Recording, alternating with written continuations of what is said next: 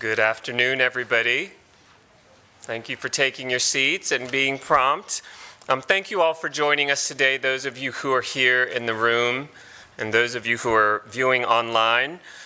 I'm Paul Butler. I'm the President and Chief Transformation Officer here at New America. Through our work here at New America, we hope to respond to global forces of demographic, technological, and social change. And we focus our work in five broad clusters of work um, democracy, education, technology, family well being, and global security. Today's event is hosted by our Planetary Politics Initiative. Planetary Politics is the brainchild of a few folks um, our CEO, Anne Marie Slaughter, members of our international security and our political reform teams. It was launched a year ago under the leadership of Candace Rondeaux as a call to action for reimagining a world order that is inclusive and responsive to the challenges of our time. We saw the problem then as one that was simple enough to name, but super hard to solve. Our international institutions were built for another era, and we need to find ways to revitalize them, to secure the rights of all people, and to protect the planet. Over the past year, planetary politics has focused its work in two domains digital technology and climate change. And both of those will feature heavily in the conversations that we're going to have today. Our goal is to help stakeholders understand the new and evolving geopolitics of digitization and decarbonization. Alongside many university and nonprofit partners, we have produced critical research, most recently a report titled Governing the Digital Future. We've been convening workshops and task forces to bring global perspectives and novel thinking to these challenges. And like today, we have been convening global leaders and practitioners around these critical issues. We've gathered an amazing group of them here today. We're going to begin the afternoon with a fireside chat on the call for a new global governance. And before I introduce our distinguished guest, I'll first introduce our moderator. Bina Venkataraman is a former New America Fellow. She's a science and technology policy expert. She was senior advisor for climate change innovation in the Obama White House. She's a columnist for the Washington Post, focusing on the future, and is an author of the acclaimed book, The Optimist Telescope Thinking Ahead in a Reckless Age. Thank you, Bina, for joining us. And on behalf of New America, it is our distinct privilege and honor to also recognize and welcome Nobel laureate and former Liberian President Ellen Johnson Sirleaf.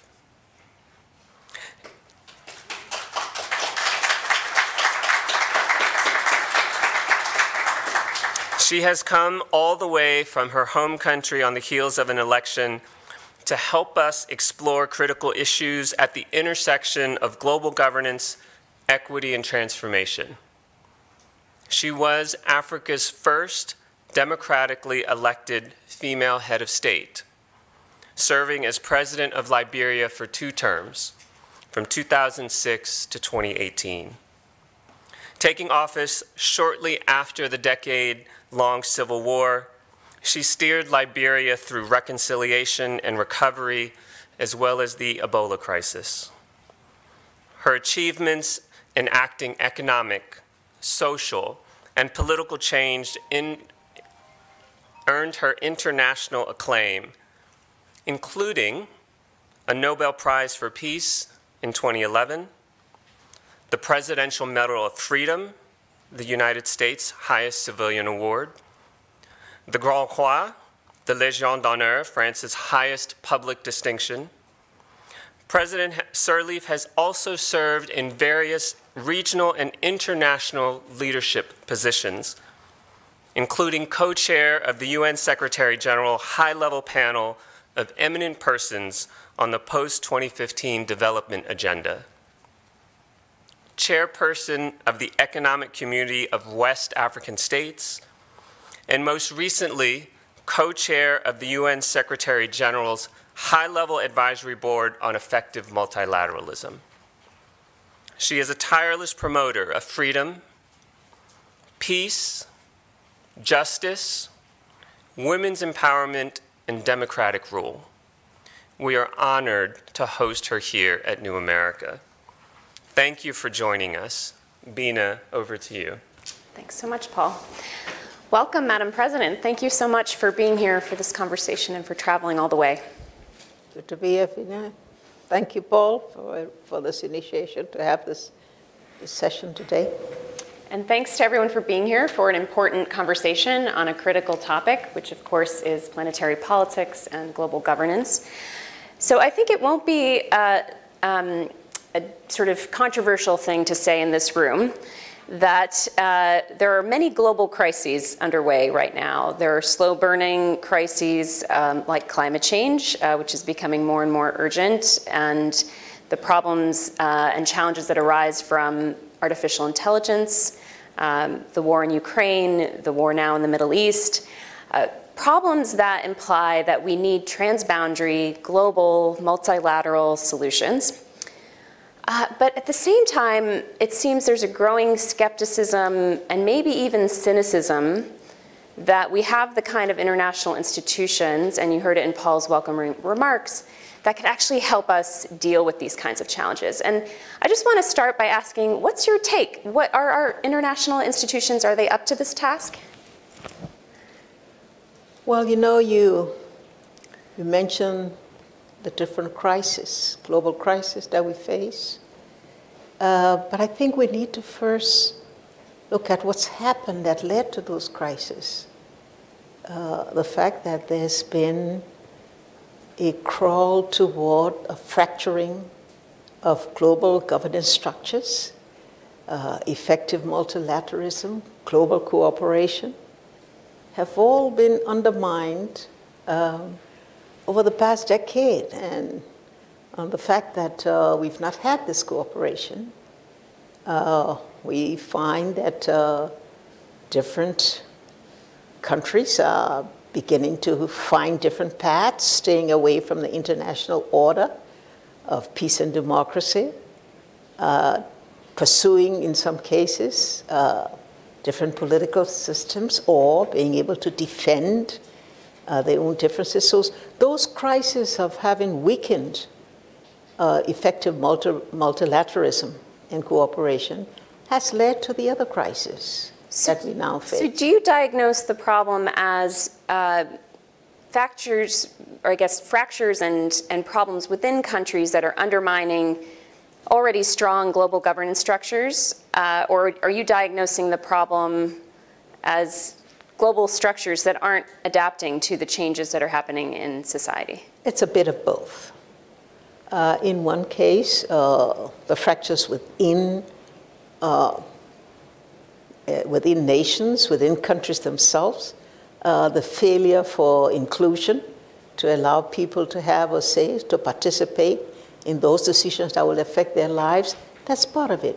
But also, um, global cooperation uh, because of the geopolitics, uh, uh, people being able to, to have their own spheres of influence, particularly as relates to countries in the global south.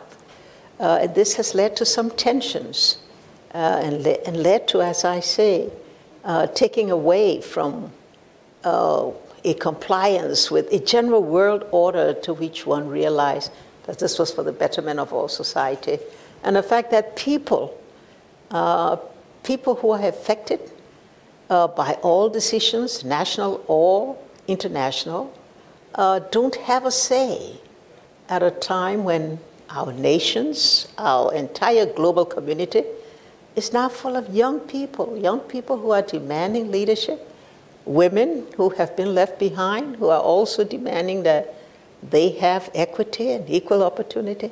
It's, uh, it's a world that, uh, that's changing, and the, the crises are severe, um, and something needs to be done about it. So, I, groups like these that will have a say in identifying some of the root causes of these problems and what can we do. But more importantly, leadership. Leadership in both uh, countries as well as in international organizations that can see the value uh, and the advantage of coming together as it used to be two decades ago. I want to get back to that question of how we include these different groups that you see as gaining more uh, voice and needing to have more voice in these institutions and in our global system.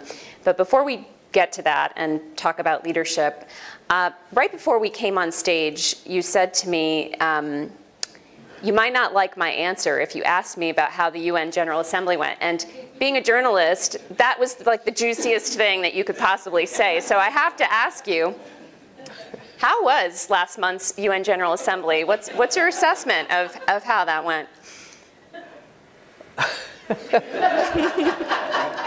I'm sorry, it's just well, it's my job.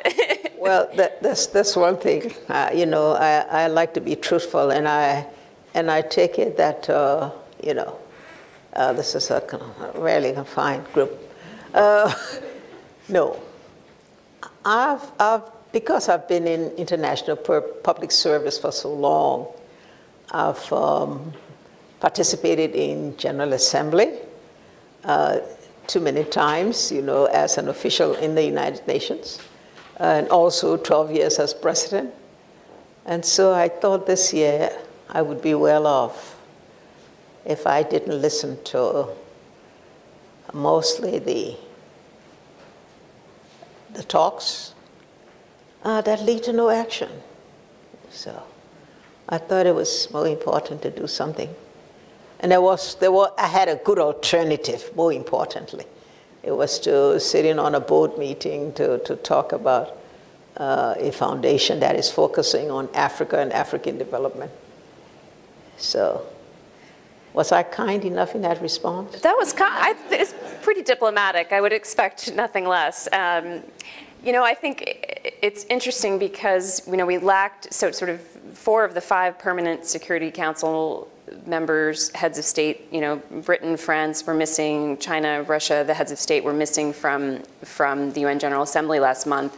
And people were criticizing that as sort of an indication of the UN uh, losing its power and its ability to affect change. But you're saying something actually, which is, I think, something a general public kind of has as an impression of the UN, which is that there's a lot of talking happen, happening even with the heads of state who do come and not enough action that's resulting from that.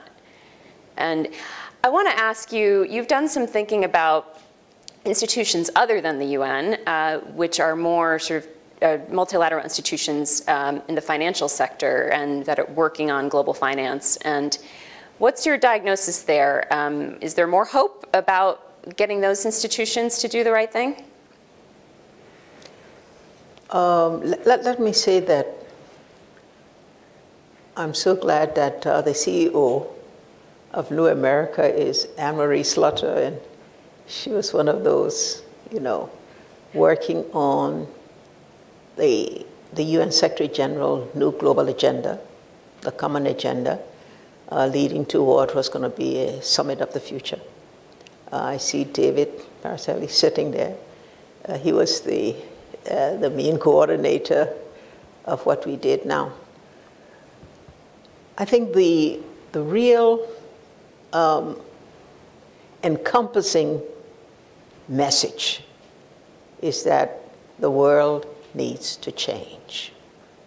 The entire global architecture requires reform.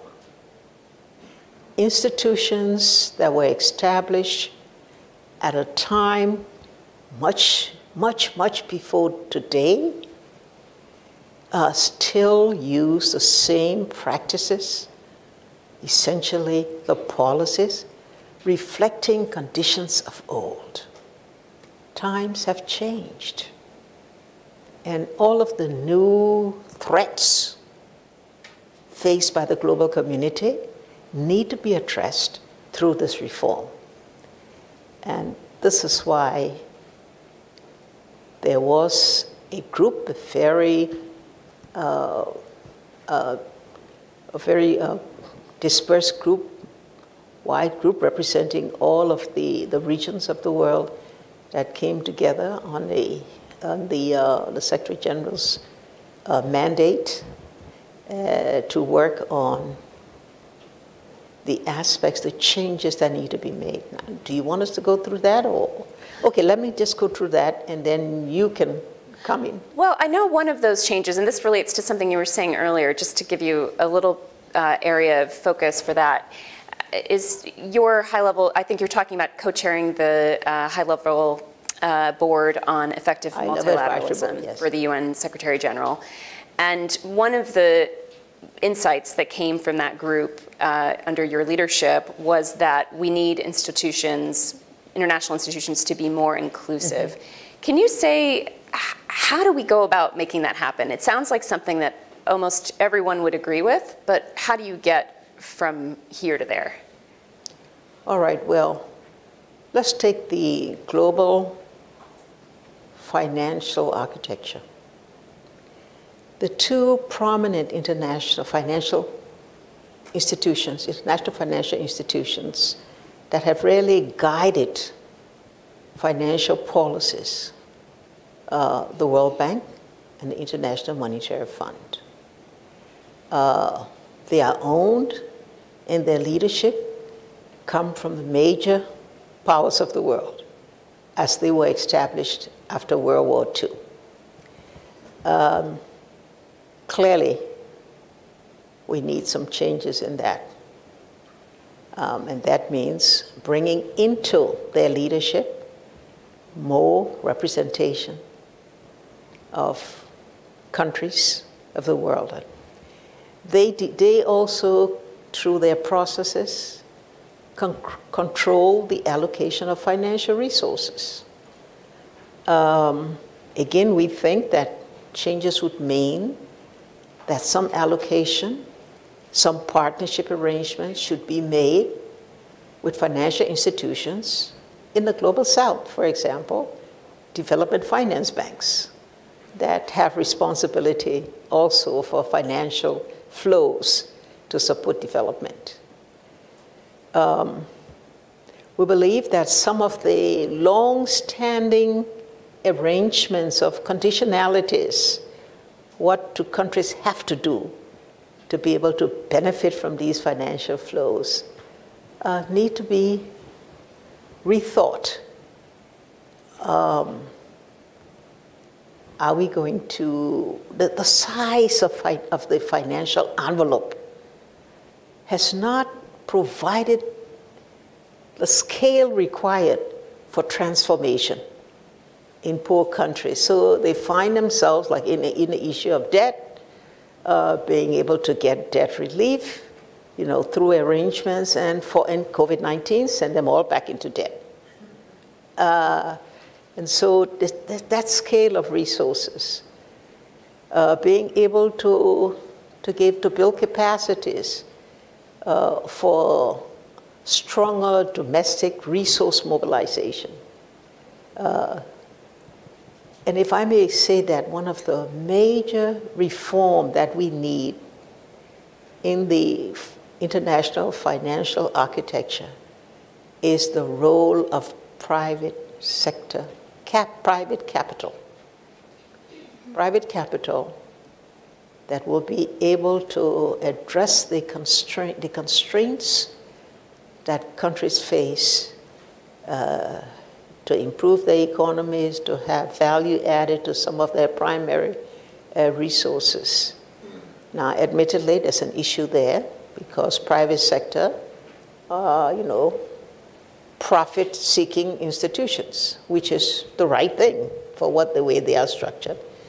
And so that would mean if we're going to make sure that we we um, find a means for private sector to also be a part of the flows to developing countries, then there'd have to be means to to uh, minimize the risks that they would face. So de-risking options would have to be determined. to enable that to happen. Um, we need more representation on a discussion that I held in G20, you know, where the major uh, better performing countries the world sit down to discuss financial policies, financial allocation of resources. Uh, there are uh, groups like finance ministers that are invited to some of those sessions, but they don't have real uh, decision-making powers. Uh, should we not have a chance to reform G20? And there have been talk about inviting uh, the African Union to have a seat in G20. The same applies to G7, where the seven major powers of the world are the ones that make the real policies that, re that relate to, to issues affecting development, affecting the world, particularly in the area of finance. How do, you, um, how do you think this would apply to a specific area, for example, with climate finance, which has been both a really critical part of global negotiations on addressing climate change, but also uh, a bit of a, an issue of disparity and an issue of conflict between countries in the developed and developing world? If you had a scenario where you had more inclusion of uh, countries that would be beneficiaries of climate finance, whether from governments, international uh, banks, and financial institutions, um, and also the private sector. Uh, how could you see that playing out differently than sort of the scheme of climate finance we have now? Well, I, you know, I don't, I don't think we've yet um, seen a full determination on climate finance. I think we've seen many, you know, COP, COP, uh, how many COPs we've had. Uh, and we haven't yet seen the delivery of the um, resources that were committed, even, even though there's some talks on a bilateral partnership arrangements. There are certain amounts that are being given to, to, to uh, deal with it, and I think maybe the, the latest meeting on that in Marrakesh is something you might see something different will, will come up. Uh, uh, and the, I think the, the countries of the, the global south have, um, have been those that are affected most by climate change. And, and, and those, uh, and those that have, have led to the problems of climate change are those in the north. Uh, so I guess if one was saying that we all now are part of a global amphitheater, then we have to see some of the resources held by the global north uh, be directed into the global south to be able to address the major effects of climate change uh, so that we have a, a more equitable world. And a more equitable world will, will lead to a, a better economically performing world uh, that would benefit all. Uh, I, I don't think those decisions have yet been made in a very comprehensive way and a very structured way that uh, one designs the allocation of resources based on certain criteria, the criteria of not only those that need it most, uh, but those that are willing to do more for themselves, you know. Uh, and those discussions are ongoing in, in different fora. Uh, I am not sure we've found, found the right uh, uh, the right approaches or the right policies that will deal in a way that will be fair to all. And how does that relate to your point about conditionality of finance to the developing world? So uh, your point is very well taken that the rich nations of the world uh, have contributed much more to the problem of climate change, while the poor nations of the world have suffered the brunt of the impacts thus far, though we see disasters uh, related to climate change now affecting the entire world. How, um, given that we know that that injustice and that asymmetry exists, but that we also know that we need all of the nations of the world to be developing in a clean way and reducing uh, emissions, if not bringing them to zero, uh, as soon as possible. Uh, how does that relate to what kind of conditionality there should be on climate finance uh, going towards uh, poorer nations, nations that are less wealthy, nations that have contributed less to the climate crisis? I think most times conditionalities set forth by primary financial institutions or under partnership arrangements tend to be more one size fits all, uh, not really recognizing the specificities of countries, their endowment, their capacity, their, even their culture.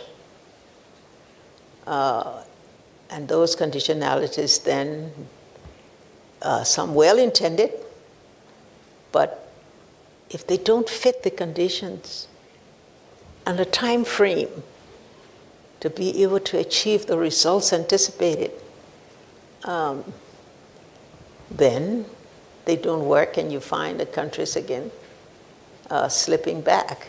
Uh, and I think we have so many examples of that. So if we're going to have reform, we need to, again, we change institutions, that would change policies and approaches and measures. One might see things like that addressed. Sometimes the conditionalities don't fit the problem at hand, uh, you know. Uh, that also leads to some of the tensions in the major powers arrangements. Uh, those who may see human rights, you know, as a, you know, as a major uh, trigger uh, for development, quite rightly so for some.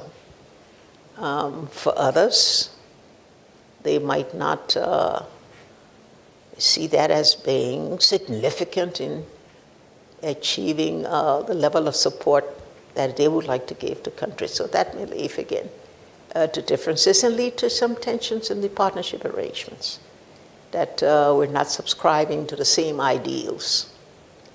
Uh, that says that um, one needs to, to also recognize uh, differences. Uh, you hear people talk about Africa and what Africa needs, what Africa should do. Africa is 53 countries, you know, with different endowment, different culture, different tradition. So if you're doing support for Africa, you may have to look at it with all these kinds of different specificities and see how you can tailor the response and its support uh, to the real issue, to the you know real situation that, that pertains.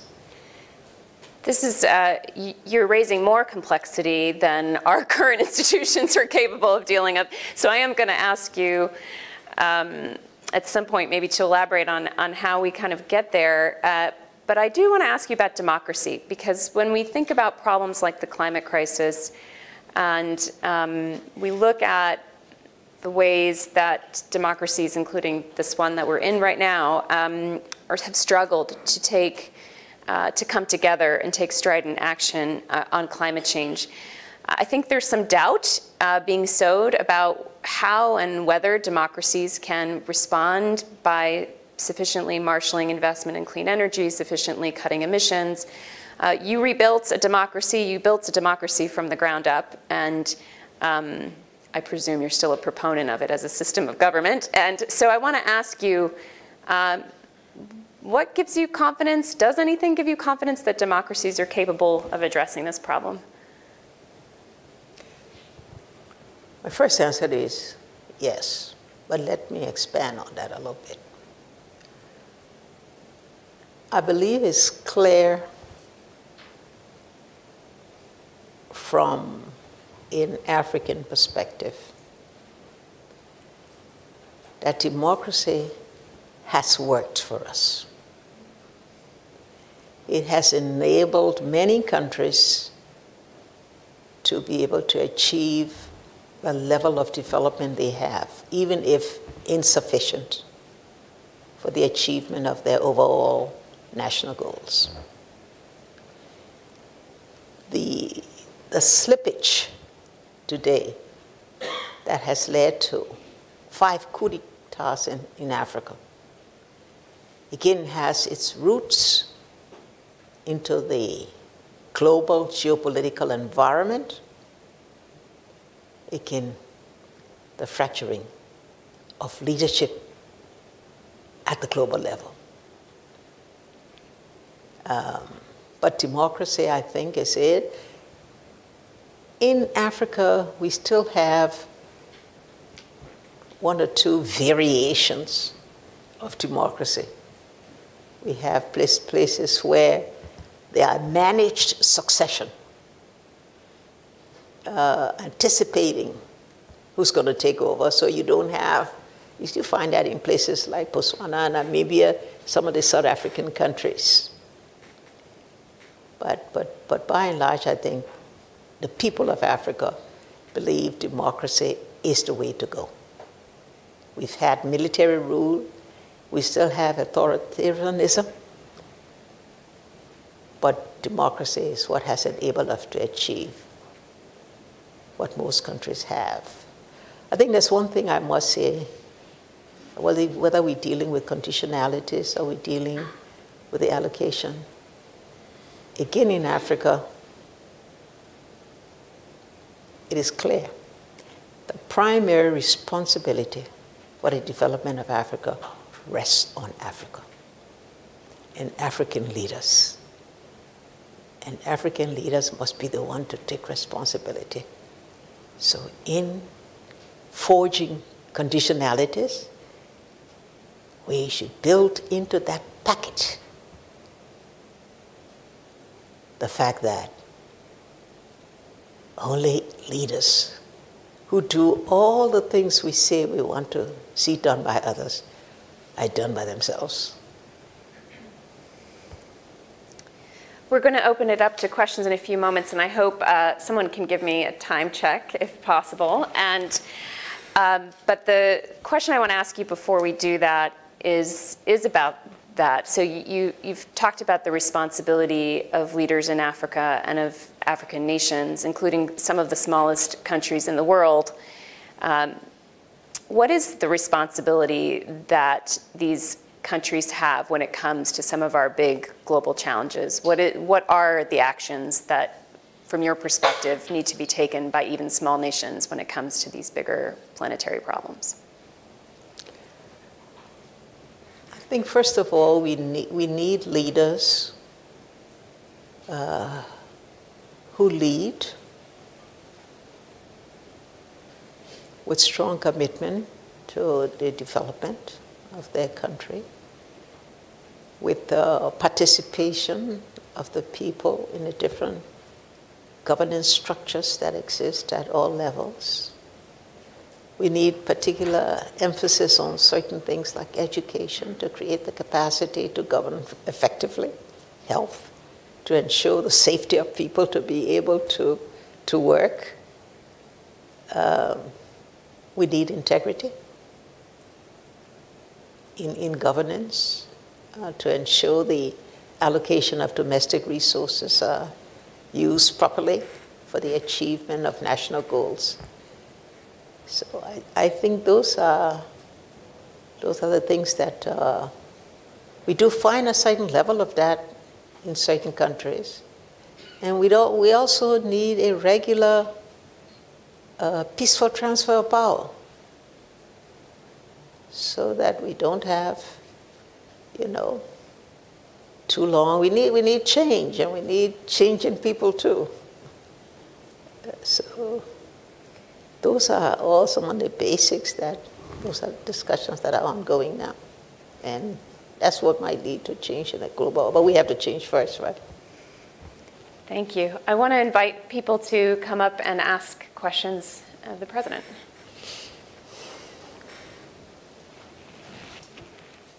Hi, Richard Ponzio from the Stimson Center here in Washington. Uh, congratulations on the new High Level Advisory Board report. Uh, as a think tanker, I think many from the policy advocacy community would be keen to hear two of your favorite proposals from uh, the, with the COP28 around the corner and climate broader environmental governance. What is something that we should be thinking about maybe championing in the run up to the Summit of the Future next year?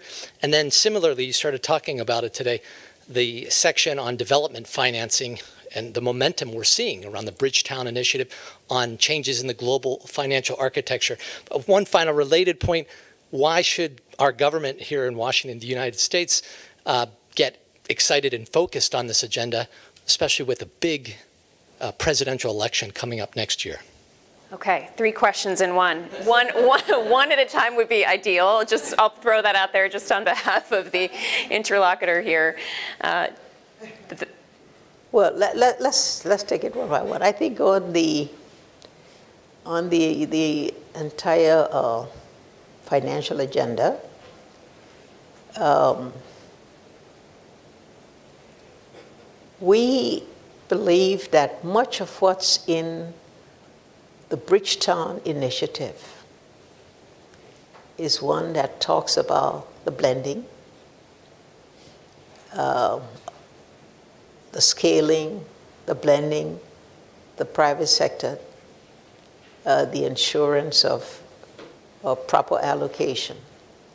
Uh, it also reflects the same things about uh, decision making in financial institution participation uh, of some of the the other institutions from the south. So the, the all of the the rest of the measures to improve the uh, financial, global financial architecture, I think are, are well stated. It goes beyond the, uh, the, the Bridgetown Initiative, but the Bridgetown Initiative is the core of all of that.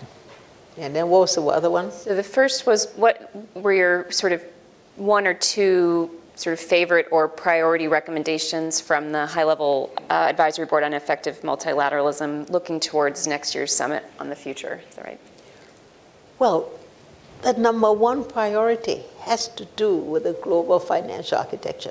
The change of that, change in, in the structure of the World Bank and the IMF, uh, bringing participation of the uh, multilateral development banks, uh, being able to have the allocation of resources uh, made in such a manner that they address the major causes, being able to, to make countries enable through their endowment uh, to get the domestic resources to develop their own country. So that for me is number one. Number two, the whole global security architecture. We haven't talked about that. Mm-hmm. Uh, but that, that means that work changes have to be taken at the Security Council. Uh, today we have a a moribund Security Council. Uh, and, and it's been going that way. It's been that way for the past several years because of the fracturing of uh, global political something. So, and I think that I think sort of that, relates that, to the final. Know, that that sets the basis for why we're saying democracy is slipping, and you have uh, coup d'états, and you have and you have these wars today. I mean, and, and with the existing situation in Ukraine, now Palestine and, and, and Israel, it's going to, to bring more pressure, more pressure on finding the right solution to these. At the same time, granting groups like terrorism, granting groups that would like to see military regime trained that feel that they can get away with it because there's not a body. So, again, how do we bring better representation or something? If I may also talk about the on pandemics and health, I can say that we had a group. I was co-chair of a group with uh, with Helen Clark, former Prime Minister of New Zealand, that worked on a whole measure of, of trying to uh, make WHO a stronger and, and better finance institution, international health regulation being set up for reform.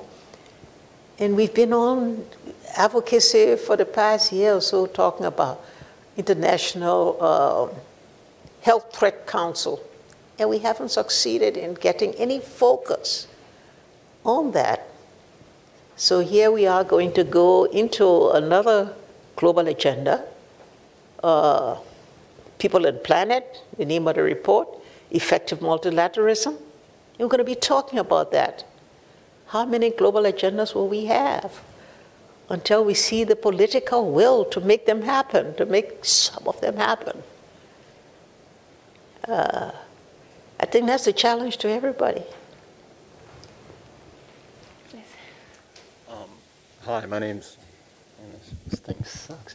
Uh, Steve, I uh, work and study here in the city. Thank you very much for today's forum. Um, I appreciate it. Uh, Madam President, uh, for a number of us who were young producers, uh, one of the last times that you came through the city, uh, we really appreciated your your comments and your interaction with members of the Hill, Chris Coons, Ron Klein. Could you amid today's sort of fractured political environment, and that's probably being charitable, uh, could you give us a, an overview of uh, your last interactions with members of Congress uh, during the uh, Ebola crisis? And, uh, and my other question is, uh, is there a great game for Africa?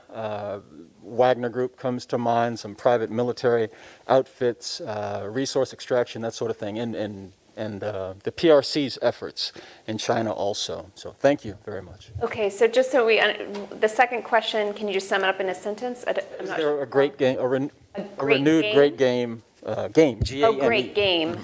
For Africa. Great game. Okay, I'm not sure I understand the question either. okay. I think the question is, is, is Africa up for grabs yet again? With, with, between China and, between China and Russia. Russia, yes, and okay. old school colonialist friends. Right. Is there a game for Africa? Oh. Not, You know, I've, I've heard talk about, oh, recolonization and all this thing. That's, that's, that's not true.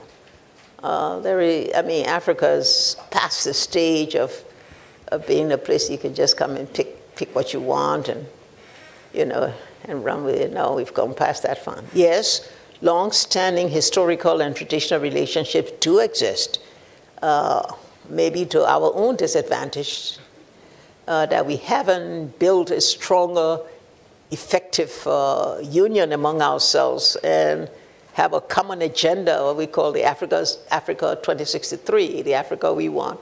Uh, we've put it forward, but it's so aspirational that we haven't moved it from aspirations uh, to activism. Um, and so in that respect. But uh, there, will, there will be no recolonization of Africa. in terms of either soft power influence of China or resource, even just resource ownership or of uh, foreign companies, do you have any concerns about that? Just, yes, there, like I said, there's geopolitical intervention. Mm-hmm. And sometimes it's driven by greed greed for resources. Sometimes it's driven internally by, again, my power and, you know, self self gain and, and whatnot, corruption and all the, and all of that. So that, that's sometimes part of it, and that exists in within countries and exists in partnership between countries. Uh, but I mean, we have to take responsibility on, on why, why uh, we have not grown up in such a way that uh, we don't need, um, we don't need uh, French military support. Uh, let's, let's support the development of our own armies. You know, that's where we need the support. I mean, but not so much armies. Let's build the economies first so we don't have to have too much money spent on armies. Uh, and did you, did you want to share anything about um, your experiences talking with members of the US Congress about the Ebola crisis or since then? Well, let me say that I'm, I'm proud to have had a very strong bipartisan relationship. we want to hear the juicy stuff, right? yeah, we want to hear it all. no, I'm, I'm, very serious about that. Uh, that uh, we've had, I've had that, and it has enabled me to have the kind of cooperation that we were able to get for Liberia through legislative support because of that. Uh, and so and, and I think all, all our countries should, should work in that manner. When it comes to, to, to China, because there's always the question about, you know, China. Uh, China has a different approach to development. China's, China has the, the big step approach, you know, build big, big uh, football arenas, football stadiums, big, big. Yeah, they do. They do really benefit everybody. Um, they believe in big infrastructure. They build the railroads and the schools and all. Um, eh, but those have a place also in development. It's needed. Uh, this is why you see countries still want it. On the other hand, we do know that when it comes to the social services like health, education, I mean, those are the bedrock anyway of improvement in any society. And so, but those things are not quick fixes. Uh, China has quick fixes. Five years, you may get a big railway. You need 20 years to get quality education.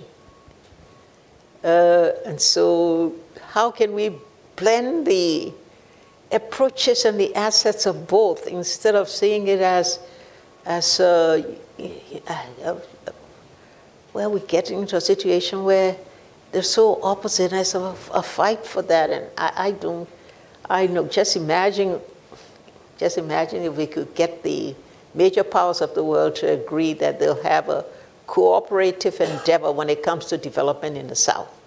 And that the resources could be pooled from each into a common pool with the right conditionalities and the allocation that's fair and just to the need and the, and the uh, abilities of the country's own effort.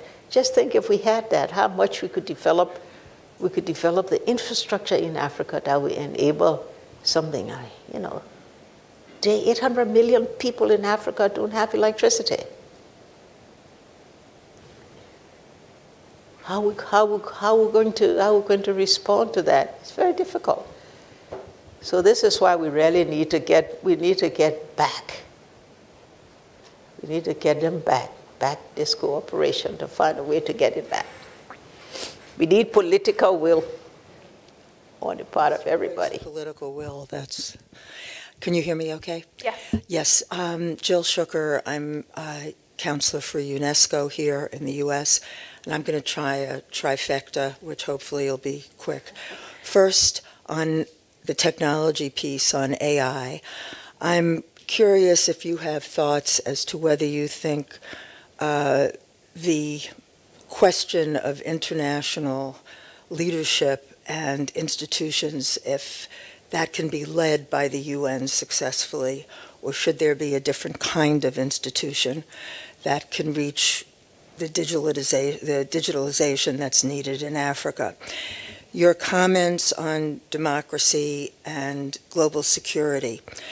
Um, the issue of coups that are taking place seemingly frequently right now in Africa. I'm just wondering what your perspective is on why that seems to be happening with more frequency, uh, almost back to the 60s. Um, and with that, uh, the third question is you were saying you uh, Africans need to be able to, I believe you said, to focus more on themselves in terms of security. And I'm wondering what you think about the force that's going to Haiti and uh, whether you think that's appropriate. Thank you so much. I'm going to help you with those questions. sure. I'll do my best. Yes. So the first was about AI and whether the UN is an appropriate international institution to deal with the challenges of AI globally, or if we need a different kind of global institution? I really don't know Well, I know that I don't know much about AI, artificial intelligence. I don't. And I wonder if, if um, we all in the world know enough about it, except those that are who technically strong in, uh, in AI. As a matter of fact, I, I, I, I see some fear in the growth of AI as I, as I see it take away from the human endeavor. Hmm? So, but will we need a specialized invitation to respond to it? Maybe so. But I do hope we will see the institutions we have now uh, re energize themselves and reinvent themselves and come back to the area where they are cooperating to be access the existential threats that we face now, that many of the less developed countries have no capacity uh, to understand or to be able to, uh, to manage it. This sort of relates to your earlier point about inclusion, and then I think we'll take a final question because we're leading uh, to the end here. Um, but you talked about more people being able to express their voices in these international institutions. And I think part of the challenge right now, and part of the reason there's a lot of skepticism about institutions responding to problems like artificial intelligence, like the United Nations responding to artificial intelligence, is that people see some of the harms and they see some of these problems very up close and personal in their lives, and they see something like the UN is very far away from their lives. Is there something in your recommendations that would help bridge the gap between people and these larger international institutions? I think inclusion, inclusion of people. Mm-hmm. At the national level, one need to move away from the centralized power and authority into building on the periphery, you know, at the mayor level, at community levels, and all, where really those are really the uh, the front the front uh, uh, responders. In the health, that's what we find of community health workers. COVID-19, it was community workers. Uh, they're not given sufficient support, sufficient compensation, sufficient recognition. Uh, being able to build the, the places where people can have town hall discussion, not just when there's campaign. Then town campaign, you get a lot of town hall discussions. Uh, but as a regular means of understanding, UN decisions, African Union and other regional institutions' decisions, being able to have places where people understand them and know them, so that when you ask about a UN institution, most persons in, in, in the in community, particularly in rural areas, will not even know about it. You know, because there's not enough opportunity to involve them, to know what it is, for them to, even if they, they cannot make the decisions because they don't have the capacity and the understanding to make the decision. But with their knowledge, they can have more ownership, and more ownership will bring more self endeavor. You know, because talk about the coup d'etat, as was, was mentioned. The coup d'etat became because uh, it started through um, terrorism was not responded to. Insecurity arrangements. It is not the security decision, the Security Council that can really prevent, prevent something from happening. You've got to have security bodies that are equipped, that are empowered, at the regional level to be able to, uh, to deal with that.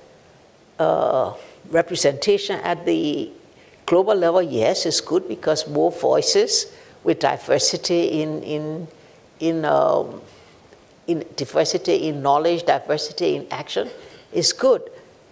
Uh, being able to shift from, you know, peacekeeping forces to forces of pre conflict prevention so that you don't have to spend so much money responding to crisis if you can use less money preventing crisis. Uh, so it's trying to reframe, reframe the whole uh, global agenda. I think that we need to spend more time on. Just a small task, and I'm going to give the final question to you here, and uh, please tell us your name Hi there. So I'm Ben Dalton. I, I work here at New America. Uh, we have some online questions that are coming in, so I'll just keep this very brief. Um, so one question is, are most of the reforms and changes that are being discussed here, uh, do they rely on good governance and competent leaders? And if that's not the case, are you not essentially throwing good money after bad? Yeah, that's correct. sounds, sounds it's like true. it's true. No, it's true. I, there's no denying that. It's true. We've reached the end of our, but I do want to ask, I want to just abuse the moderator role for a second and ask you to tell us, I think you've given us a lot of areas of concern in terms of the state of the world order, and I think many of us wake up, if not uh, struggle to fall asleep because of our concerns about current global affairs.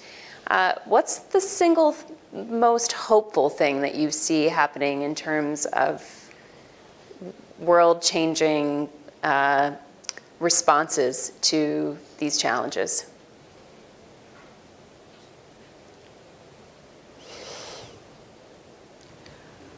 Five letters. W O M E N.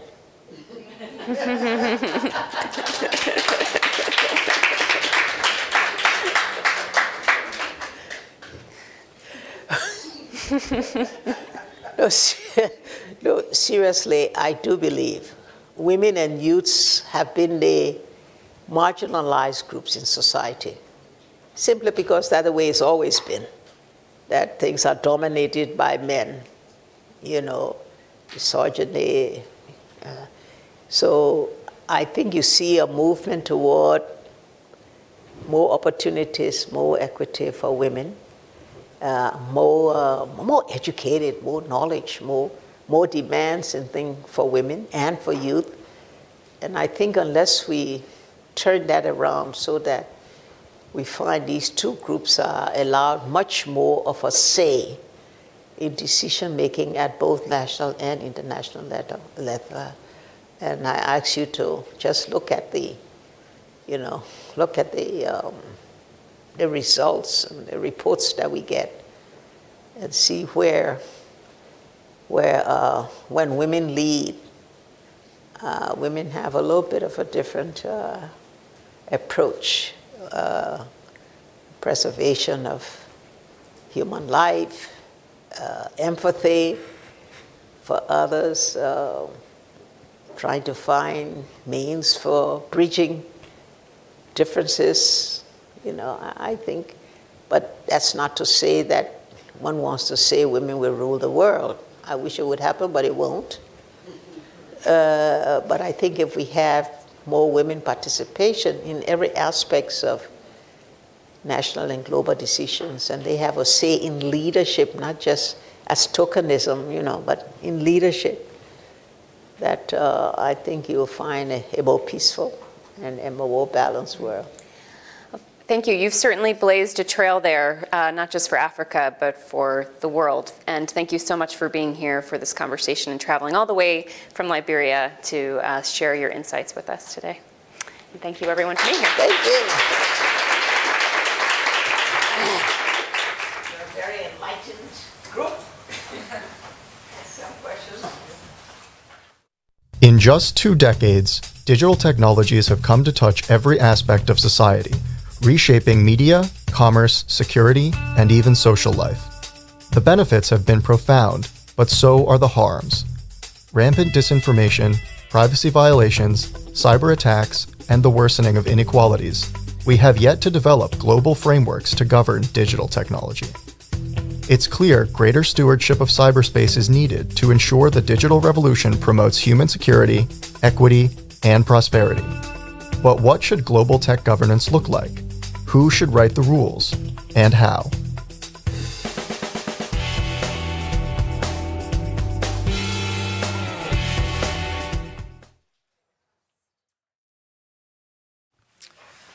Good afternoon, everyone. My name is Gordon LaForge. I am a senior policy analyst with the Planetary Politics Initiative here at New America. Uh, as that video just suggested, our next discussion is going to focus on global digital governance. Uh, this is a subject that we think and, uh, about a lot here at New America in planetary politics, and we've been working on a lot. Um, as Paul mentioned in his opening remarks, we've just published a report entitled uh, Governing the Digital Future that's on our website. I encourage you all to check it out. This panel is titled A Just and Equitable Digital Future. And to introduce our panelists and steer us through this conversation, it is my pleasure to introduce our moderator, Candace Rondeaux. Candace is the Senior Director of both Planetary Politics and the Future Frontlines program here at New America. She's also a professor of practice with the Center on the Future of War at Arizona State University, and she is a leading expert on the Wagner Group. Candace is an award winning, for which she's been getting a lot of attention recently. You may have seen her on TV. Uh, Candace is an award winning investigative journalist. And previously, before coming to New America, she held positions at the International Crisis Group, the U.S. Institute for Peace, and she was Washington Post bureau chief in Kabul, Afghanistan for a stint. She is and always has been a very sharp observer of how digital technologies shape conflict, sovereignty, and human rights. So, with that, I will turn it over to Candace. Thank you. Uh, thank you, Gordon, for uh, that very warm and kind of scary introduction. Um, at, first, uh, let me also just say, Madam President, thank you again. You've really honored us uh, by being here. I hope we get a selfie before we leave. That's the most important part of my day. My mother will kill me if it doesn't happen. you don't want that on your head. Uh, I'm, I'm, just so pleased to be here. Uh, it's, it's been a long journey for our team, for Gordon, uh, for Patricia Gruber, the co-author of the report uh, that we released uh, very recently, uh, Hila Rasul Ayub, our, our director, who works on Power Reimagined, looks at climate change, all of our panelists here today, um, um, the entire team has worked so hard to get to this moment. Uh, and in fact, uh, the conversation about you know, global disruption is something that we've been having uh, for a long time, uh, but really started for, for me, for Anne Marie, uh, during the pandemic, uh, when we were stuck at home with not much to do other than panic. and, and this is the idea that we came up with, is that we need to have this conversation, that they have to be, the conversations that we're having about global security today have to be much more inclusive. we have to ask very hard questions um, and challenge um, the kind of status quo, as Madam President uh, just did. Um, you know, the last decade uh, and the last few days, let's just, let's just talk about the last few days, we have seen um, a, a major war, the beginnings of a major war unfold on our cell phones, on tablets, on laptops. Um, and it's the second time around in the last 18 months that we've seen massive conflict unfold uh, on digital devices. Uh, 12 years ago, we were talking about Web 2.0. And uh, we were worried about our kids uh, and family members getting sucked into Facebook. Now, uh, we're worried about the singularity and what will happen with artificial intelligence. How, how will it reshape uh, human communities and human society? Uh, and these are the questions that we've been grappling with uh, over the last little while through our Digital Futures Task Force um, and uh, a gathering of individuals, uh, which includes, of course, Alejandro and, and several others, um, who've been really asking hard questions about the way digital technology is changing our idea of sovereignty. Uh, in a world where we used to think about it as you know, territory and boundaries and lines on maps, you can't do that in the virtual world. Um, and it's scrambling the way we think about norms and rights uh, and power, most importantly. And so that's what we're going to talk about today. Uh, let me introduce our panelists. Uh, Alejandro Pisanty is not only one of my favorites, don't get jealous, guys. Um, he's also one of the shining lights of our Digital Futures Task Force. Um, he is the Director General for Academic Computing Services of the National University of Mexico uh, in Mexico City. He served uh, the, uh, the community as a member of the ICANN board um, of directors. Uh, th those are the people that name domains um, and keep registry information. Um, he's educated in Mexico, and Alejandro does not play, let me tell you. Um, he knows a lot about science. He has degrees in chemistry, um, uh, physical chemistry. He spent time as a research scholar at uh, the prestigious Max Planck Institute for Research on, uh, on the solid state in Stuttgart, Germany. It's one of my favorite countries, and uh, Stuttgart's one of my favorite cities. Um, his career has been bound up with computing since 1972. We won't ask your age, uh, and with networks and, and, the internet since the late 1980s. Uh, in other words, Alejandro knows what he is talking about. Um, the other person on this panel who knows what she's talking about is Nanjira Sambuli. Um, she is another kick butt digital warrior, and her accomplishments are so outsized, I'm not really sure I really should be sitting on this stage. Um, Nanjira is a Ford Global Fellow. She is also a board member of the New Humanitarian um, Development Gateway and Digital Impact Alliance. She also advises Carnegie Council's AI and Equality Initiative and the Alliance for Inclusive Algorithms. She's a member of the Gender Advisory Board at the UN Commission on Science and Technology for uh, Development. Uh, and as if that weren't enough, um, she also um, really leads all the advocacy efforts on digital uh, equality uh, at the World Wide Web Foundation. Well, used to, yeah. Well, you used to. Um, and she's worked at iHub uh, Nairobi, uh, where she provided strategic guidance for growth on technology and innovation research in the East Africa region. Thank you for coming. My God, what a biography. Okay. Um, our third panelist, uh, Rohinton Medhora, is no less distinguished, and he soon will be my favorite.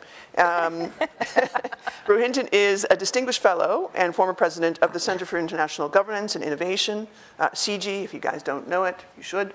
Um, everyone apparently loves having Rohinton on the board because he is the chair of a lot of boards. Uh, he's a chair of the board on the Institute for New Economic Thinking, vice chair at the McLuhan Foundation, board member of uh, the Partnership for Economic Policy, and he is on the advisory boards of the WTO, cha WTO Chairs uh, Program, UN uh, Merit, uh, and Global Health Center. He is also a professor of practice uh, at McGill University's Institute for Study in International Development Rohinton also sits on a commission on uh, global economic transformation. He knows the most famous guy in the world on soft power, Joseph Stiglitz, and many, many, many other things. Um, welcome, all three of you. Thank you for joining us. So um, we were you know, touching on this sort of challenge that we have now with the way digital technologies, and particularly AI, are really transforming um, everything from conflict to sort of crisis management. Uh, and there are some good things too. Let's talk about, you know, MNRA. I mean, without, without artificial intelligence, we would not have had uh, a pandemic, um, I think, relief uh, ultimately. But there's been a lot of inaction on regulating uh, digital technologies, which have let platform companies like Meta, um, you know, and others do a lot of damage um, in communities uh, that are particularly vulnerable. We can think of the crisis with the Rohingya genocide. We can think of uh, many different instances. Given that history and background, um, I'm going to turn to you, Alejandro, first, um, because you are my favorite. Um, uh, no. Um, really, where are we going to go next? I mean, we've got inaction, a history of inaction, but any chance of that shifting for AI? Do we see any kind of activism happening? Take a deep breath. Okay. and, uh, no, first, uh, uh, I'm, I'm, very happily obliged to thank Candace Rondeaux, uh, Gordon LaForge, Patricia Gruber, Riley Rogers for uh, all for the, this invitation. I take it uh, especially as, as, as, a big honor because you already know me. So that's you already saw me in action in this same room for the for the task force, and that was a fantastic experience, which I thank you for. for. Uh, I'm also in awe of the convening power of, uh, of, of, this organization for many years. I visited over here more than a decade ago. Uh, and I'm very glad to, to, tell you there's someone in this room who really knows this stuff. That's uh, Dr. Steve Crocker, who's sitting down there. He's former chair of ICANN. He's, among many other merits, the person who invented the request for, uh, for comments procedure for standardizing the internet in the Internet Engineering Task Force. And uh, many, many other towering achievements and still very, very active in this field. And there's David Olive from who's the ICANN office and Iria Puyosa who comes from uh, DFR project. Uh, I mean, this is uh, for me as, uh, an additional sign of convening power and I'm very honored to be sitting on the same uh, days that uh, Madam Johnson Sirleaf was. I'm, I'm, aware of your work in Liberia since it was happening, and I mean from the news, and uh, in absolute awe of, uh, of, of those achievements and what you're now charged with that may shape the digital world as well in, in, in many ways. So I, I, now that I have that out of my chest, of my chest, uh, so there is action and inaction. There, it's not only inaction. Uh, what we have to realize, I think, I'll, I'll, I'll go straight to this. Uh, today's panic will be tomorrow's platform. Um, a few centuries ago, Plato was scared and very disgusted that people were resorting to writing, and he thought that would damage the use of memory forever. And we have had the same type of concern when uh, radio was going to intrude into our kitchens with voices from outside the house, whether it was going to be, you know, good music and uh, constructive education or propaganda. No one knew at the time. And of course, both things happened. And it's all the way, you know, every new media. The thing is that maybe these disruptions were change, happening once every millennium, then once every half millennium, and now we have 20 of them a year.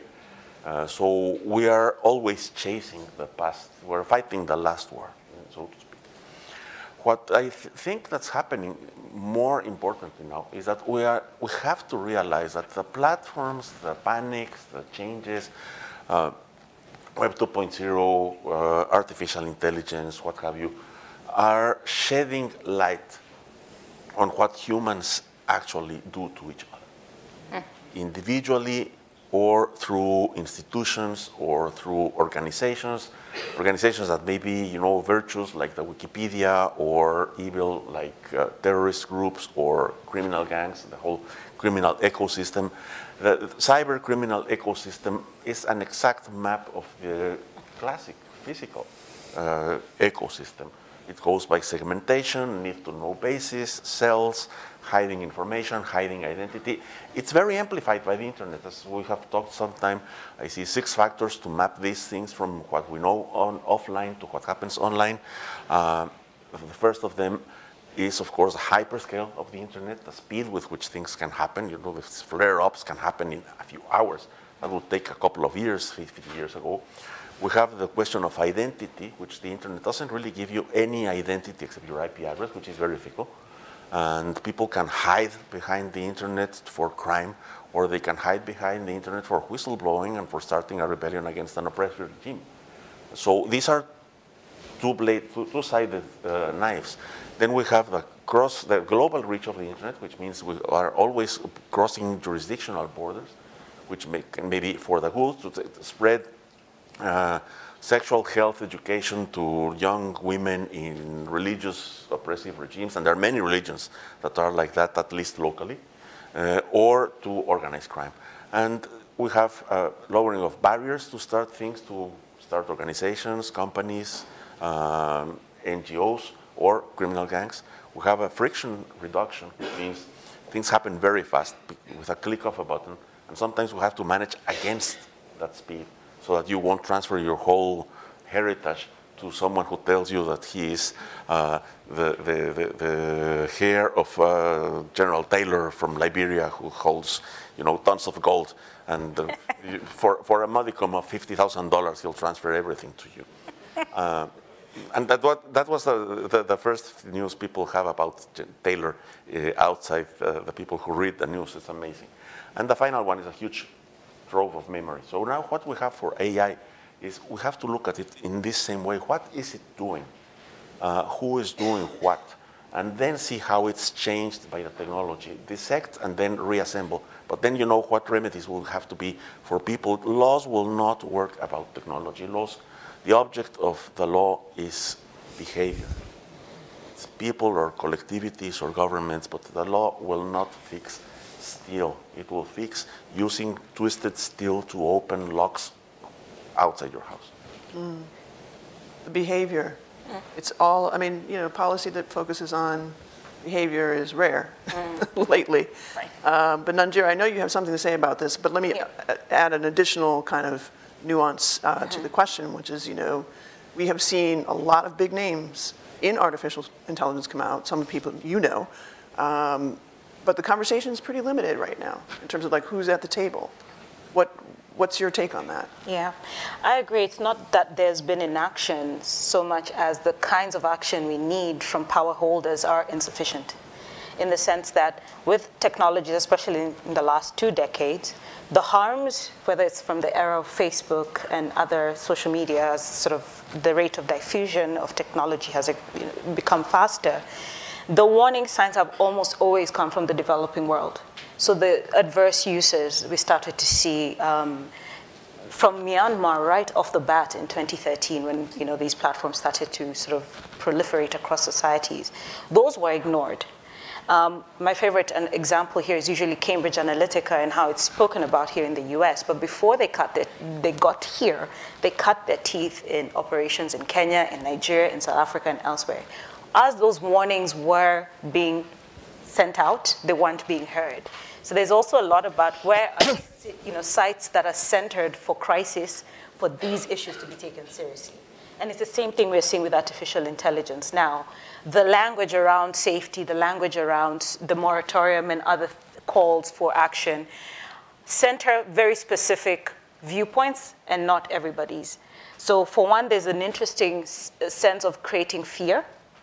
Um, and this fear is also obfuscating the need for governance, and in this sense, the need for state actors to set the rules of the road that these powerful players can then heed to. So they want to create the panic, and then tell us, tell us that they're the ones who know how best to govern themselves. Y'all just don't worry, we've, we've, you just stay panicked. We're gonna figure this thing out on the back end here, and we'll come back to you with more technology uh, rather than fixing the impulses that are driving, whether it's AI being deployed prematurely, uh, without the right you know, measures, and continuing adverse practices like relying on underpaid labor to train the models that then we're all experimenting with. So it really, is, in a sense, is technologies have shown us, uh, to, to, to, build on Alejandro's point, it's a, they've been a mirror, and we're not liking what we're seeing in the mirror, and we're running off panicking rather than looking deeply and staring deeply into what is being reflected for us to fix. So that remains a challenge, um, whether we're talking about those days of Facebook or now artificial general intelligence, as uh,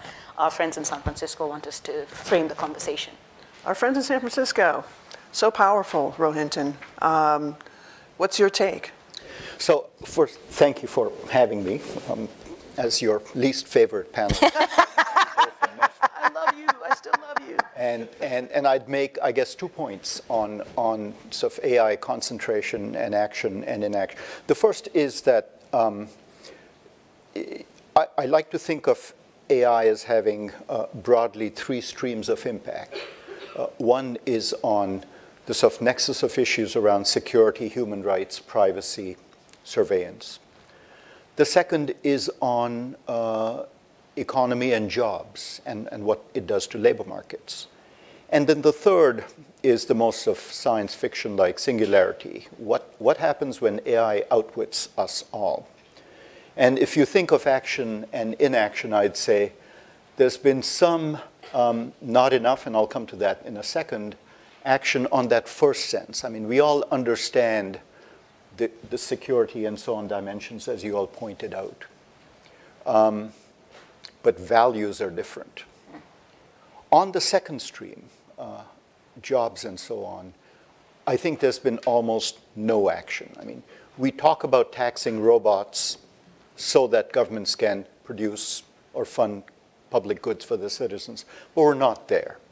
Um, and there's nothing that I have seen that suggests that we're going to deal with that anytime soon. And then on singularity, I mean, there's no, I mean, we have evidence from biotech and, and other kinds of advanced sciences that there are ways for societies to grapple with nuclear technology. But we haven't really come anywhere near that. There's a debate about whether you can cut off computing power, but it's still at that stage. My second point, where there has been action, think of the range that we're seeing. Uh, the draft EU legislation on AI is risk-based. My, my country's, Canada's, is too. Uh, China's is kind of based on technologies. And what these countries do is they talk about low risk and high risk AI. And in the EU legislation, for example, high risk AI is something like social scoring or the use of facial recognition technology in public places is banned. It's just not good. In China, that is exactly what AI is used for in the public good. I mean, there's a genuine sense there that some of this, like going through airports or dealing with COVID, this technology has worked. And we are going to use facial recognition technology in public.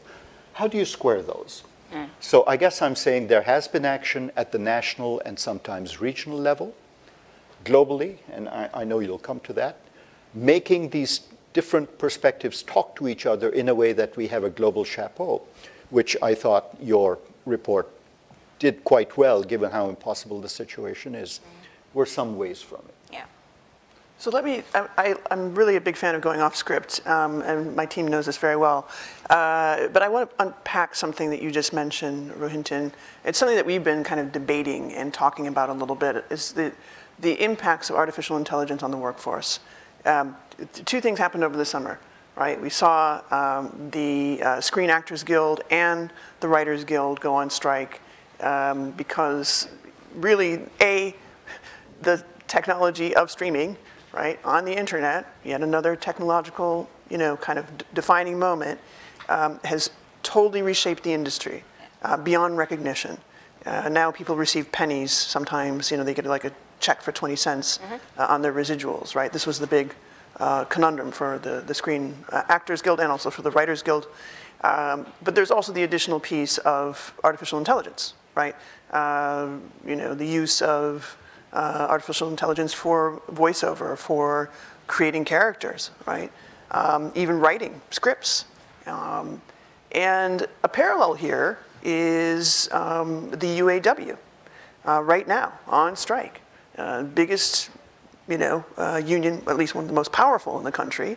And uh, what are they asking about? They're asking about two things. One, you are stripping down the machine that we've been building for you know a couple centuries now uh, into parts that uh, essentially will take away jobs. Will eliminate jobs from the from the line, um, but two, you're also using artificial intelligence. You're creating potentially barriers uh, for us to uh, get skilled up.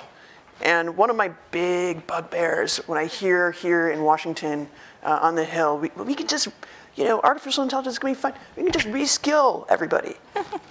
it's going to be good.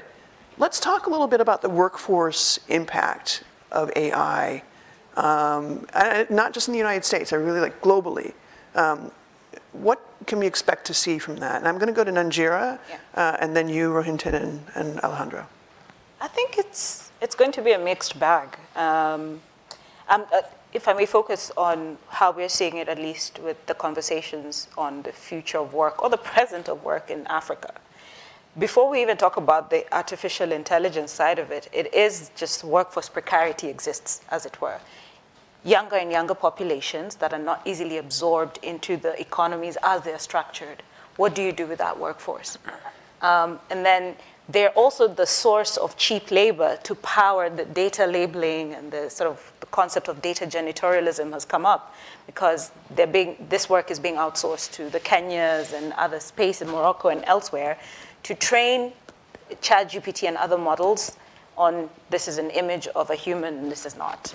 Um, and then, you know, at the end of the day, you can't even see yourself represented in the outcome. There's a story just this week about generative AI refusing to generate an image of a black, an African doctor with patients. It just could not.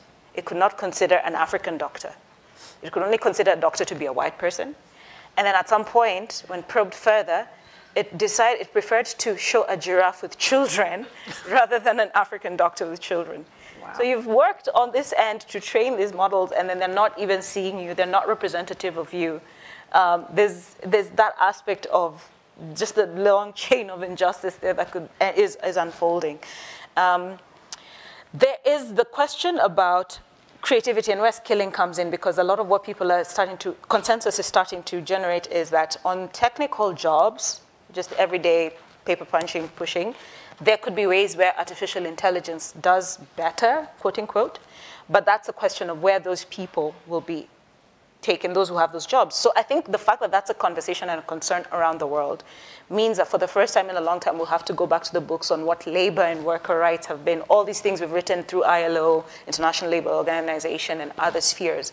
What will that mean? And that will call for planetary uh, solidarity because the worker who's precariously suffering at UAW and the construction worker um, down on the, in the continent who's trying to get, you know, that to sustain them as a living. But, you know, I don't know, development money brings you a robot to build your infrastructure there. there there's, a, there's something there that ties them. And that future, the fear that we don't know where people are going to have sustainable jobs at least allows us not to see it as, oh, AI doomerism, but to start speaking about what will solidarity look like in saying whether it's reskilling of workers or whether it's ensuring that the pace at which these technologies are introduced does not upset systems. Mm makes us at least have room for a new conversation. I mean, Rohinton, does that scare you? Because it scares me. Because I, you know, when you think about the folks who are in charge of regulation, right, people that you've dealt with, uh, you continue to deal with, are they ready for what was just described here? Um, you know, since the Industrial Revolution, the, the path to prosperity and development has been to move from agriculture to low-end manufacturers and then up that value chain. That's how Britain, Germany, and France did it. That's how the tigers in East Asia did it. Uh, and that's how the current, you know, that's how Vietnam sees its future in Burma.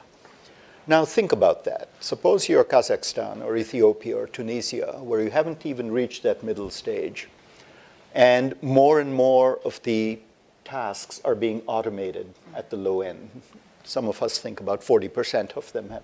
So that entry level and that middle level step that you need to become um, something else just isn't going to be available. It's already not been available. Now, we're not supposed to bring slides, and, and I, I'm not a PowerPoint fan, but there's, there's one I like to show, which is the photo of, I think it's Nike, that reopened its first plant in Europe some years ago after moving all its operations to Asia over the years.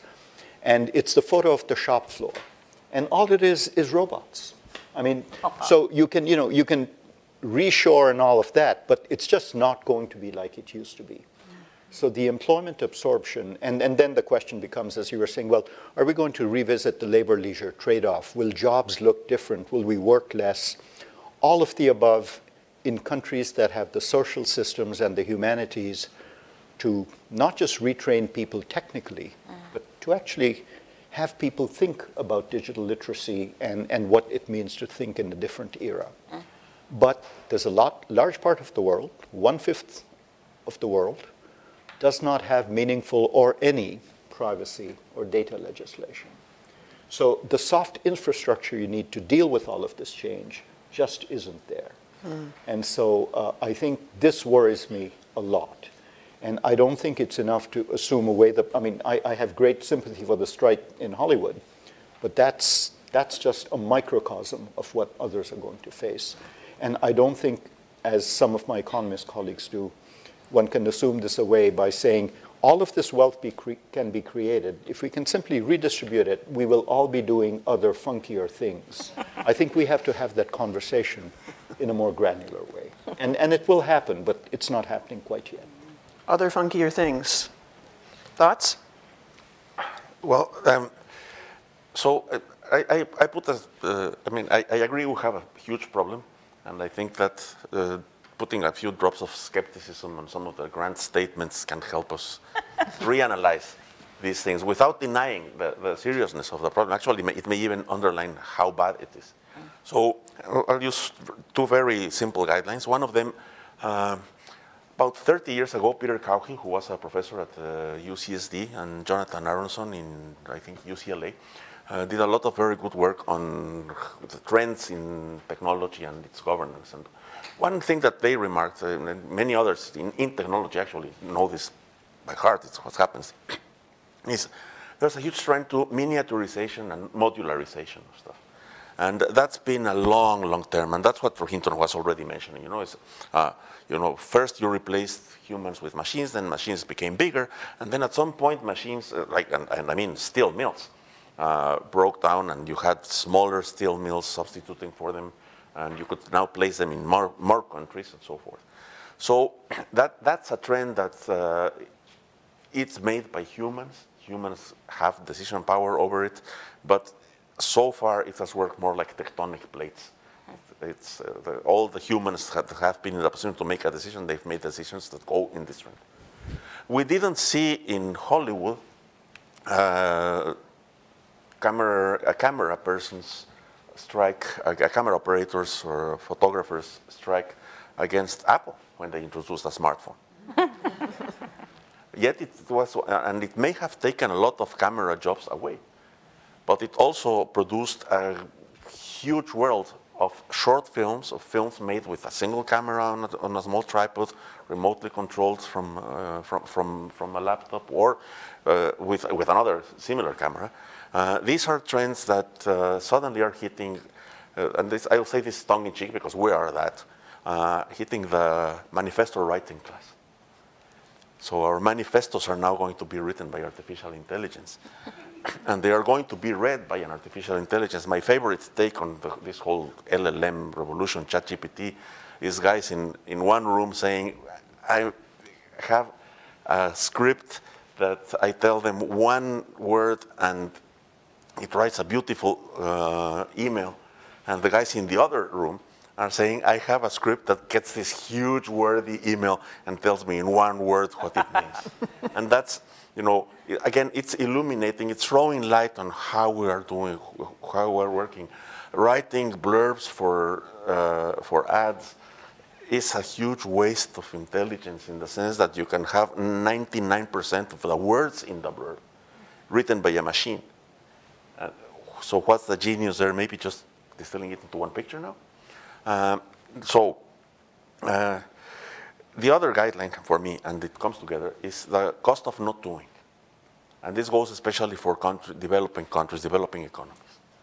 Uh, we have legislators feverishly writing laws against or for regulating uh, artificial intelligence. In, in the Mexican legislature alone, there are already 16, 13 initiatives for cybersecurity, and this semester we are seeing already 15 or so for artificial intelligence.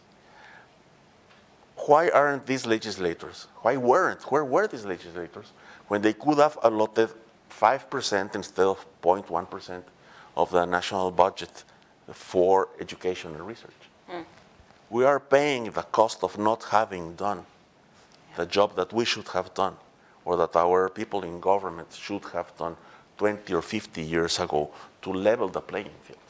We have very smart people from every developing country doing fantastic work in artificial intelligence in Google, in Meta, or in Alibaba.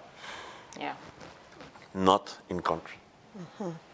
So that's actually, so you bring me to the next question, which is on script, uh, but related to this, of course you know, we've, um, Ian Bremmer wrote this fantastic piece in Foreign Affairs, I guess it was last year, um, talking about sort of our technopolar moment. moment. Uh, and I think we can all sort of acknowledge that, you know, Meta and Alibaba, uh, you know, Alphabet, these, these are not countries, these are not corporations, um, these are becoming empires uh, and that own um, whole parts of the virtual world, but also whole parts of the earth. Um, and with that high over-concentration of power, uh, we see challenges with data access, um, control, um, you know, bringing value from your own data. In Nigeria, you were just sort of referring to that. Um, we've talked a little bit in, in our Digital Futures Task Force about how to break through the challenge of the Global South in particular, um, gaining more control over data access, um, for fending against internet shutdowns. Uh, any answers? One, any answers in the form of an institutional um, or coalition building um, response beyond just sort of like, oh, I think it would be better if it was good. what can we do um, institutionally um, or in some sort of coalition format to sort of respond to uh, this inequality of data access and data control. I'll let anybody jump in. On the inequality of data access and control, there's two ways I like to think of it. There's this moment now where these models are learning faster what they can learn based on a very limited archive of which they're being trained. So there's a quest to get more data, so diversify the data sets. So the rush to get more languages, more contexts, more realities that haven't been included is happening. But in so doing, it's a very extractive model that's starting to emerge that isn't so much trying to work within the context and actually register those dividends as distributed equally then. It's almost like let's extract them, you know, get them to this center, and then maybe some trickle down aspects will happen. So for example, with trying to get more languages to train ChatGPT and others, you know, endangered uh, languages are, are an interesting one because you can have these tools help redistribute, the, redistribute them in the archive or maintain an archive of them to be learned. But there are communities now pushing back and saying those benefits first have to come to us before they go up there, ChatGPT, OpenAI, somebody makes all the profits.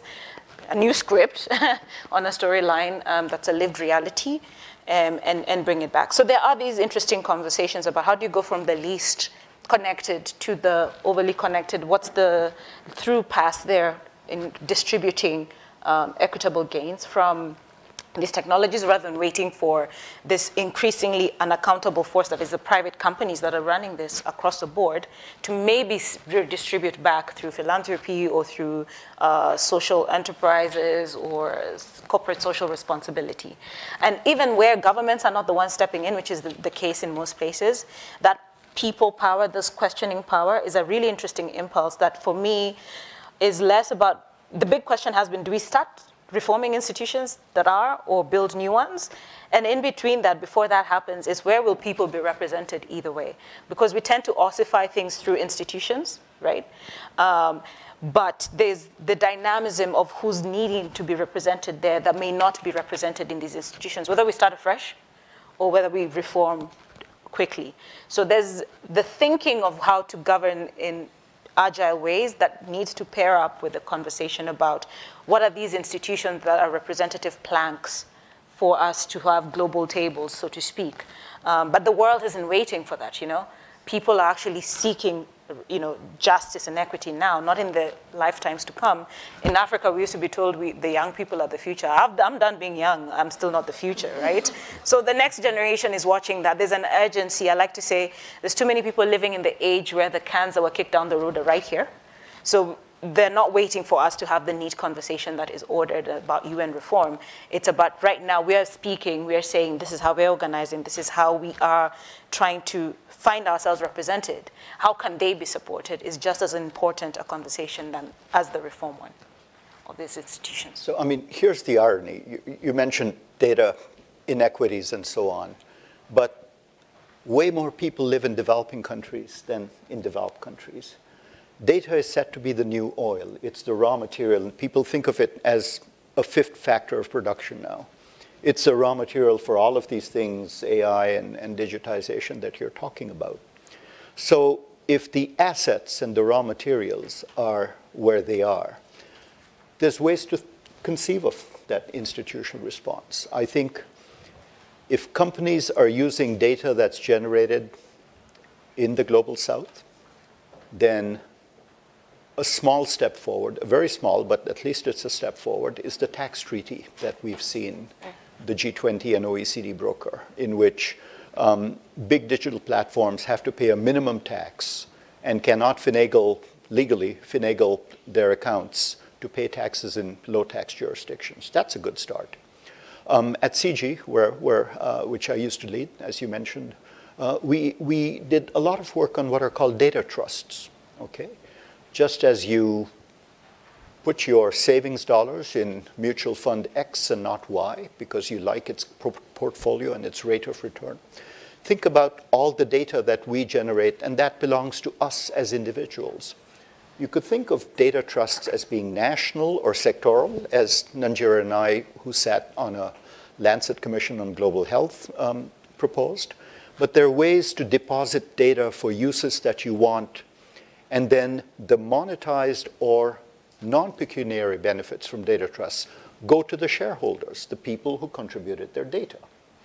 So there's ways of thinking of this. And the final point I'd make is, you know, just as after the financial crisis in 2007 and 8, we recognized that the troika of the World Bank, IMF, and WTO was not up to the task of dealing with financial sector instability. That was just not something that could have been conceived of in 1944. We created the Financial Stability Board, which is a multi-stakeholder group that hasn't made financial systems perfect, but it's many steps in the right direction. And again, at CIGI, we've proposed something called the Digital Stability Board as an overarching multi-stakeholder. I mean, that's one thing we have to get away from national governments only. Inclusivity cannot just mean having more and more small countries.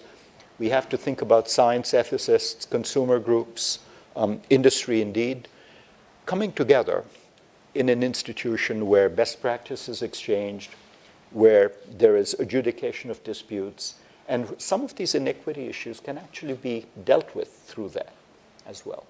So, you know, we're far from it. And as Nanjira said, it may not happen as fast as some of us would like while we're still young. but um, that's where the future lies. Alejandro, I see you writing a novel over here. What's happening? I'm taking careful notes uh, because I, they, they, they give me anchors for what, you know, to, to build upon what uh, has been said. Um, it's, it's almost uh, as, as, you know, what you have just said is the paragraph I would like to have quoted before what I'm going to say now. So it's fantastic. Feel free. Uh, uh, so quoting the, the, the previous speakers, um, we have, uh, first I've heard uh, in many fora, uh, among others, the Global Partnership for AI and an initiative by, led by uh, Dr. Paul Twomey, which is called the GIDE, which is a, a, very interesting initiative to look at legislative and other solutions for data control, for individuals regaining data control. Uh, the, the idea of data commons or data trusts has come up. I still have a lot of questions about how they could actually be built and governed. They would have to form a sort of labor union of, uh, or consumer union. Uh, and then you have all the questions about how to build that representation, keep it away from capture, from corporate or governmental uh, capture and so forth. But that's an idea that's floating around. At any rate, I think that we have uh, good precedent to look at in the almost 30 years that internet governance has been a field or a thing. Uh, what we have been able to build in the internet governance field is organizations, institutions, and mechanisms, because governance is not always you know, about written rules, uh, that manage these shared resources. Uh, ICANN is uh, one example. That's one of the most formalized. It has a dispute resolution uh, procedure that's uh, very detailed and uh, it has a lot of chances for redress of wrongs and so forth. It's fully multi-stakeholder. It really brings together governments. Actually, one of the curious things that uh, bothers some people in, in, in ICANN is that the governments sit in an advisory role. They have an advisory, a government advisory committee. It has special powers. It can stop things almost totally cold on the tracks, but it's uh, an advisory committee. Uh, just as, a, as, an anecdote to tell you how this came to happen, at the reform that we made in ICANN in 2003, we offered the government representatives to study a change in the structure where the government advisory committee would actually sit five directors by election. Uh, in, in, the board of directors of the corporation, or three. Uh, it took them about 30 minutes to reject the offer. because they said, first, uh, we would become liable for any uh, litigation that this organization goes into. And as rep government representatives cannot be part of a litigation in a private, uh, even if non-profit organization. And the second one was some of them said in very low voice, there's no way we could agree, get 240 governments to agree on five representatives, even if it were regional. So this has been a very healthy structure. And what we see is other multi-stakeholder organizations working in the internet governance field. Uh, ICANN is very formalized. It has a large budget. It has formal meetings three times a year in different countries. Uh, and it has, as I said, all these teeth for uh, things that go wrong with uh, the central part of the domain name system. Everything else is decentralized. You have something called the anti-phishing working group, which is a very lightweight organization. It's mostly meetings and communications, led by a guy called Peter Cassidy, who's a former FBI accountant kind of person. Uh, it brings together police forces, uh, law enforcement. Uh, it brings together the banks where the assets are. That, and, and now, of course, there are many other non-financial assets, like you know your Netflix account. So everybody that sort of puts together or has to hold a fence against phishing uh, and the platforms where phishing occurs, which is like the large email providers, large messaging providers. That's where the exchanges take place, which actually pull out people's resources. It's a very light organization, and it's done a lot of work that we don't see. You, the way we see that we don't see it is the huge decrease in phishing attempts you can get through email, for example and the way you can make them decrease now in other messaging platforms. Uh, you can see that kind of, uh, of stuff working in, in many ways. And I would not advise to just copy any of these organizations, but to learn the lessons from multi-stakeholder uh, uh, organizations or mechanisms in the internet field. And of course, look at the many others like the Financial Stability Board. There's a lot of multi-stakeholder, even if it's not called so explicitly, in sports governance, in finance governance, sometimes inside countries, sometimes globally. And that would be a good field to bring in the, the learning into this other question. Yeah, I mean, it's interesting. Go ahead. Uh, yeah, and I was going to say, I mean, but on where we're thinking about new global planetary uh, institutions, whether they borrow from the multi-stakeholder model, multilateral model, otherwise. One big thing that is emerging that is clear is it's something that has to get especially the big powers on the same table. So you need the US and China as super producers on the same table. What's happening all too often is there are new formations that are emerging that will almost always sideline one or the other. So you're finding maybe the Chinese group is organizing different stakeholders, the US group is organizing others. There's an interesting divide around digital authoritarianism, digital democracies, which are terminologies that don't fit neatly anyway. That is not going to help us with where we need to be headed because at the end of the day, both powers in the quest to participate in geopolitical competition, including in technology, are rushing for that data.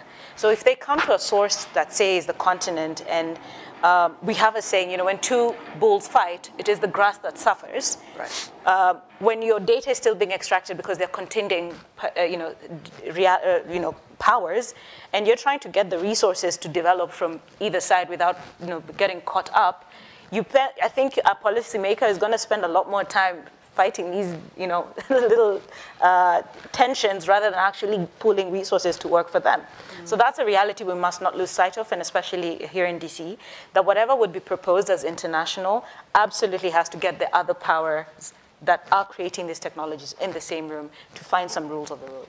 Yeah, I'm so glad you raised this. I mean, at the risk of offending um, most of Washington, D.C., and most of the White House just down the street over here, I will say I am extremely pleased to see the fading away of uh, that initiative, uh, whereby um, you know there was this sort of we are the authoritarian versus the yeah. the great democracies, because obviously we know uh, we're all in trouble, right? I mean, democracy's in trouble everywhere. Um, authoritarianism is everywhere. Um, and it doesn't neatly sort of um, you know, sit within inside uh, any particular set of borders, as it turns out. Yeah. Um, we're all struggling with these challenges, um, and they're, they're difficult, I think, to, to grapple with if we do have this kind of very binary approach. Um, I think we are at a point where um, questions from the audience would be very welcome. And I want to invite you to come up here and uh, make yourself known. Lots of good questions to, I'm sure, ask. Um, while I do, while I wait for somebody to step up to the mic, I'm going to just take the prerogative and ask a very quick question. We um, touched on uh, data sovereignty uh, in our conversations uh, in May. And um, I think that Mr. Crocker is going to address some of this. Um, I just want to touch on a little bit on the data sovereignty question. Uh, we've seen China uh, make bids in the ITU, Russia make bids in the ITU. Um, I'll let you answer it and then we'll get to these questions. Right. Data sovereignty, do, what kind of stakeholder format would we need to really address many of the questions um, that are coming up there?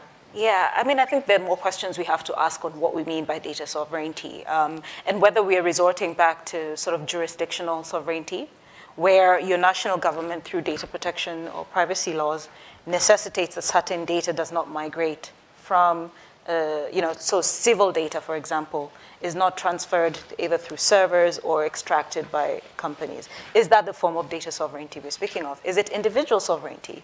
And how does that fit in a world where uh, rights are not just about individuals, but about communities, which is essentially what the African, you know, human and uh, people's rights charter talks about. It tries to balance the fact that you're an individual within a community, and that's a kind of corpus we haven't tapped into in finding other solutions. Too much of the focus on individual rights, the way the Universal Declaration of Human Rights has shown us, has limited us from thinking about other, other ways to do it.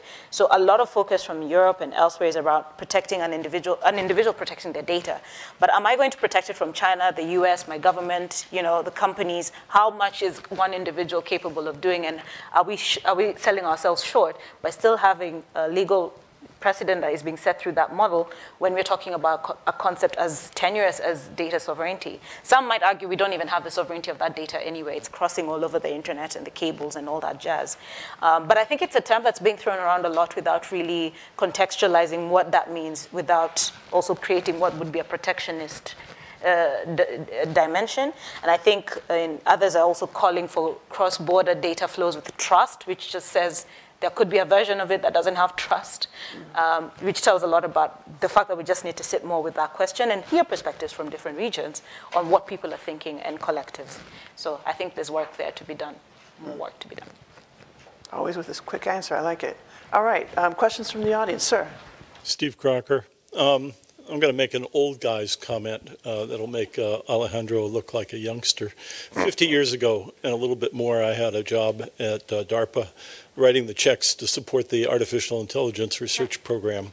Um, and so, and, and the challenge at the time, as a youngster then, was how do I write the justification for the work we're doing?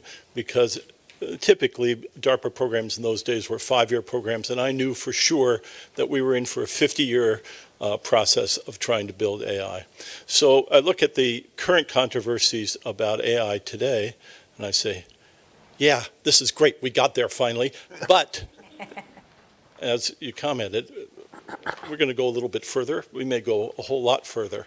And so a lot of the commotion of the moment is really of the moment, and you haven't seen anything yet in a way. Mm-hmm. Um, a particular data point uh, or prospective data point, I was talking to Raj Reddy last year about the uh, progress in speech understanding. So this relates to both in a positive and negative way about uh, preservation of languages and so forth, and asked uh, what his prediction was about the ability to have real-time translation uh, in language so that we could each speak in our own native languages and be understood in equality. He said he had put himself on record a year earlier, so it's two years ago, that in 10 years, eight years from now, 100 languages, facile, real-time translation. Mm-hmm. Maybe it'll happen in eight years. Maybe it'll take a little longer. But but and, and it was an informed. I can tell you, if you don't know who Raj Reddy is, a very very well informed uh, opinion. Um, uh, let me set that aside and, and, bring in a different aspect. Um, a lot of attention to the displacement of uh, jobs and um, uh, increase in inequity in wealth and uh, control. I'm not an economist, so I'm going to make amateur comments here. Wealth is roughly, in, in my uh, limited perspective, divided up into what are your skill sets in terms of individual labor? What assets do you control? And related but slightly different, what facilities, organizations, and so forth, what your power structure is. And we're seeing shifts in all of this. Uh, but if you stand back and look at it, I say, well, what's the wealth of a nation? And one can imagine, now moving into sort of semi-science fiction territory, that if instead of valuing what a person can do to create uh, income for himself or herself, what a, a, co a, country or a people can do to create um, the means of support and uh, uh, prevention of uh, disease and all sorts of things as a community, then you have different ways of approaching how you distribute the, the benefits of that wealth. And that leads to political uh, uh, issues of um, do you have uh, capitalism or do you have socialism, et cetera. And I don't want to take a position on which of those needs to be the best. I suspect that there's no perfect answer and any extreme is, is, is wrong. So, but my, putting that together with my uh, other point is that things are changing and and, and here's the devilish problem. Things are changing at different rates. The Westphalian uh, uh, order of things preserved and created a lot of order in the world, in, in a sense, um, and also hardened the interactions so that it, it made nation states the primary way of organizing things around the, the globe. Now we're in a state where, uh, a situation where problems are besetting the planet that aren't simply every every country should do for itself what's best. There's common things, and our institutions aren't naturally set up to create the kind of uh, uh, cooperation and uh, common action that's needed. And meanwhile, we have in the technology, we have very rapid changes in computing and AI now and so forth. Uh, things are changing at very different rates here. And so that, to me, is the big challenge. And we can have local focused solutions on how do we can apply AI, how we could regulate AI for facial recognition or surveillance and so forth. Not unimportant, but from a slightly broader perspective, almost a passing challenge that will be overtaken by the things. Pardon for the long. It's okay. And there's a question in there somewhere. Okay, I'm sure there's a question in there, um, and I know that there's a question behind you, uh, and we've got about three minutes. So what we're going to do is take the, the two questions, um, and we're going to make you do um, kind of like quiz show style. You get 30 seconds to answer them. Go. All right, so we have a question from the online audience.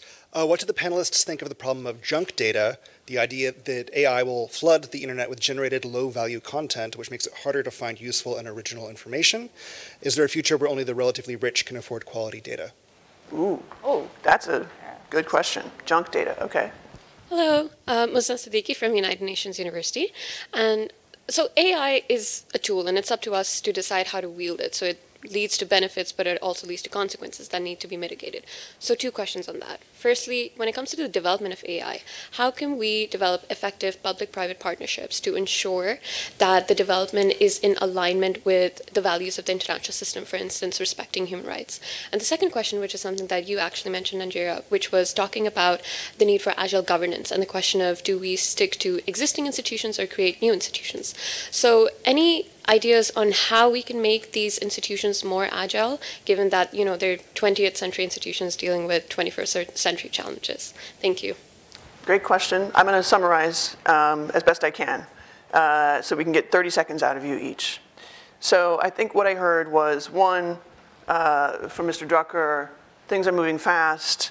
Um, we're not skating to the puck, basically. How do we skate to the puck?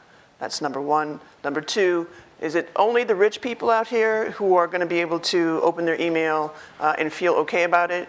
Um, or is it, is it going to be all the rest of us? Um, you know, are we going to keep getting, you know, uh, junk data, junk uh, email, junk, junk, junk? Yeah. Um, what's the solution there? Uh, and last but not least, uh, I'm just going to go to the agility part because actually I think that's undervalued and uh, not talked about enough. Um, how do we make our response and our institutions more agile uh, when it comes to looking at the artificial intelligence challenge. You have exactly 30 seconds, go. I think that uh, I'll just, just one part of this, which is the question about whether old or new institutions.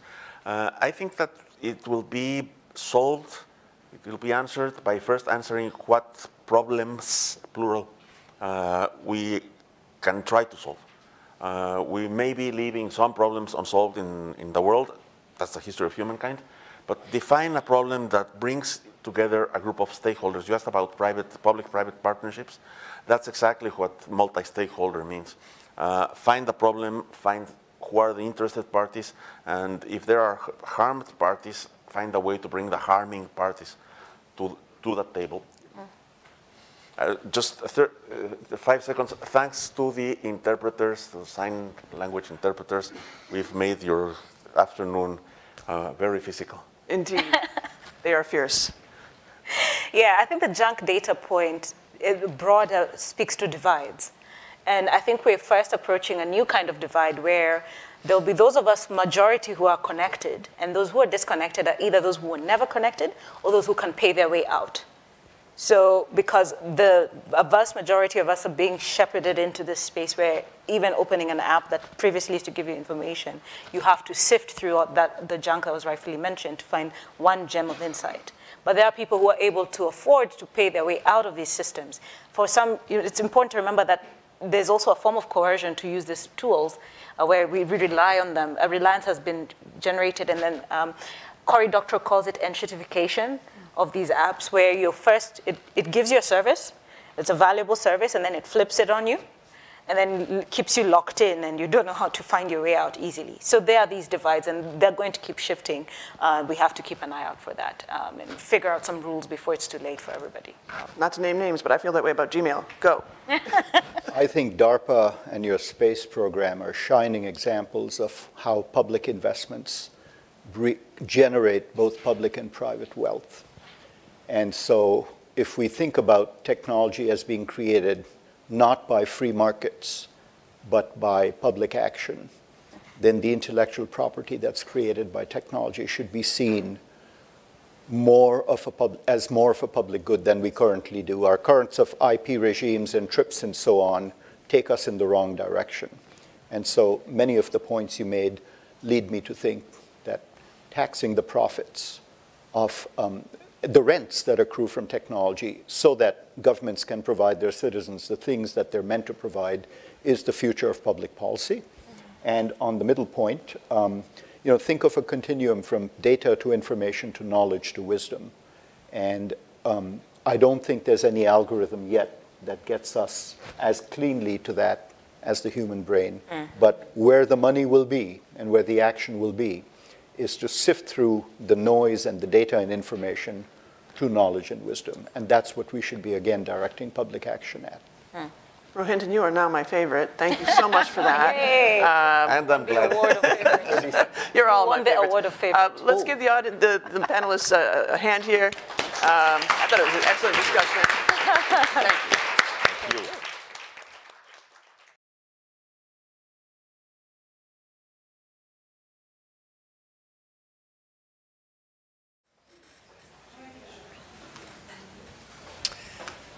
Okay, so thank you to Candace, Rohinton, Alejandro, Nanjira for that, that excellent conversation. Um, our next and final panel is titled Climate Change and Financing a Just Transition. Uh, our moderator is Planetary Politics Director Hila Rasul Ayub. Uh, Hila runs uh, at Planetary Politics a body of work we call Power Reimagined, uh, which focuses on uh, decarbonization and financing a just energy transition um, around the world. Um, Hila was previously a foreign service officer with USAID, uh, where she had extensive experience working with multilateral institutions. Uh, she held positions such as the Director of Global Engagement on the National Security Council for a while, uh, and she was a Director of the Office of Development Coordination at USAID. Uh, she is a lawyer by training, um, and she worked also as an investigator with the World Bank's Integrity Vice Presidency, going after corruption and bad actors in the World Bank system. Uh, so, without further ado, I will turn it over to Hila. Thanks, Gordon, and welcome everybody. We are so glad to have you join us for this all-important conversation um, and discussion on the planetary climate crisis and the need to center historically marginalized frontline communities in climate policy and financing discussions. Like no other time in recent history have those of us in the global north and wealthier nations faced the ravages of the climate crisis in the way that we did this summer, the hottest summer recorded in history. But frontline communities, those communities that have been facing the impacts of the climate crisis, be it through devastating floods, hurricanes, droughts, they've been telling us for a long time that while they are on the front lines right now, the crisis will come to us all. So as such, the discussions and policies that are drawn up need to center those voices and experiences to come up with solutions that will benefit the planet as a whole. So it gives me immense pleasure to introduce our incredibly illustrious panelists today.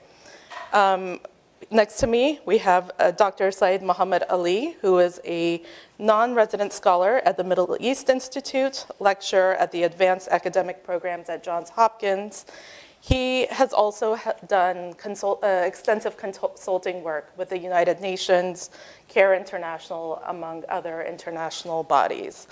Um, he is a, a, regular contributor to the Express Tribune, an affiliate of the New York Times in Pakistan. He has taught international affairs, international development, and anthropology courses in Australia, Pakistan, and the United States. So welcome, Dr. Ali. And then we have um, Heather McTeer Toney. I'm very glad to introduce her. She is the executive director of the Beyond Petroleum Chemicals campaign. She is also the author of the book Before the Streetlights Come On, Black America's Urgent Call for Climate Solutions. Uh, she um, was also appointed by President Barack Obama uh, within the EPA and has previously served as mayor to Green, uh, Greenville, Mississippi, um, one of the youngest mayors at 27. Um, and I just learned in the green room they have a sister city in Liberia, and so um, that's always wonderful to see. And then on the screen here, um, we are very glad to have join us uh, Camila Camilo. Camila is uh, an activist out of Brazil. She's a social entrepreneur building bridges between large organizations and grassroots initiatives to develop open innovation projects social responsibility strategies within the ESG agenda, and initiative focused on climate action. After five years of engagement with communities in the Amazon rainforest as a volunteer on social projects, she founded the Creators Academy Brazil, a community of content creators who amplify the agenda of protecting Brazilian biomes. She is also a contributor um, to the Igarapé Institute, a think tank focused on public and digital security and climate governance. Also to the Angels of the City Association, which has been working with the homeless population, addiction issues, and restorative uh, justice for 35 years. So um, with that, um, I would like to quickly just jump into some questions. I've learned a lot from my boss in terms of going off script, so I hope that you all will join me for that ride. So we'll begin this discussion with a little bit of scene setting to understand both the depth and the history of the climate crisis for these frontline communities. And then we can move to some pathways for solutions and hopefully uh, identify some glimmers of hope. So I'll first turn to you, Heather. Um, in your book, Before the Streetlights Come On, you draw a clear line between the racist redlining policies, which continue to endure to this day, and African Americans' increased vulnerability to climate change and climate disasters. From your work, what are the most pressing climate-related challenges faced by frontline communities in the U.S., and how do those challenges intersect with issues of social justice and economic justice? Well, thank you so much for that question, and thank you all for being here. It's certainly an honor, and I'm, I'm excited that we're having this conversation in a moment that's so critical to both uh, how we think about climate solutions in the future, and, and more importantly, how we engage people to be a part of that. Because the conversation around just transition can't begin until we recognize that we have an unjust system. And that unjust system is what has put us in a position where we have communities, particularly communities of color and African American communities in the Southeast, Southeast that have always existed in a space of being uh, detrimentally, detrimentally and disproportionately impacted by climate and by um, large oil and gas and petrochemical facilities that have put themselves on the very footprint of plantations and of the enslaved system of the Southeast. So when you ask the question of what are these biggest challenges, they're all intersectional because we cannot silo these impacts to our communities.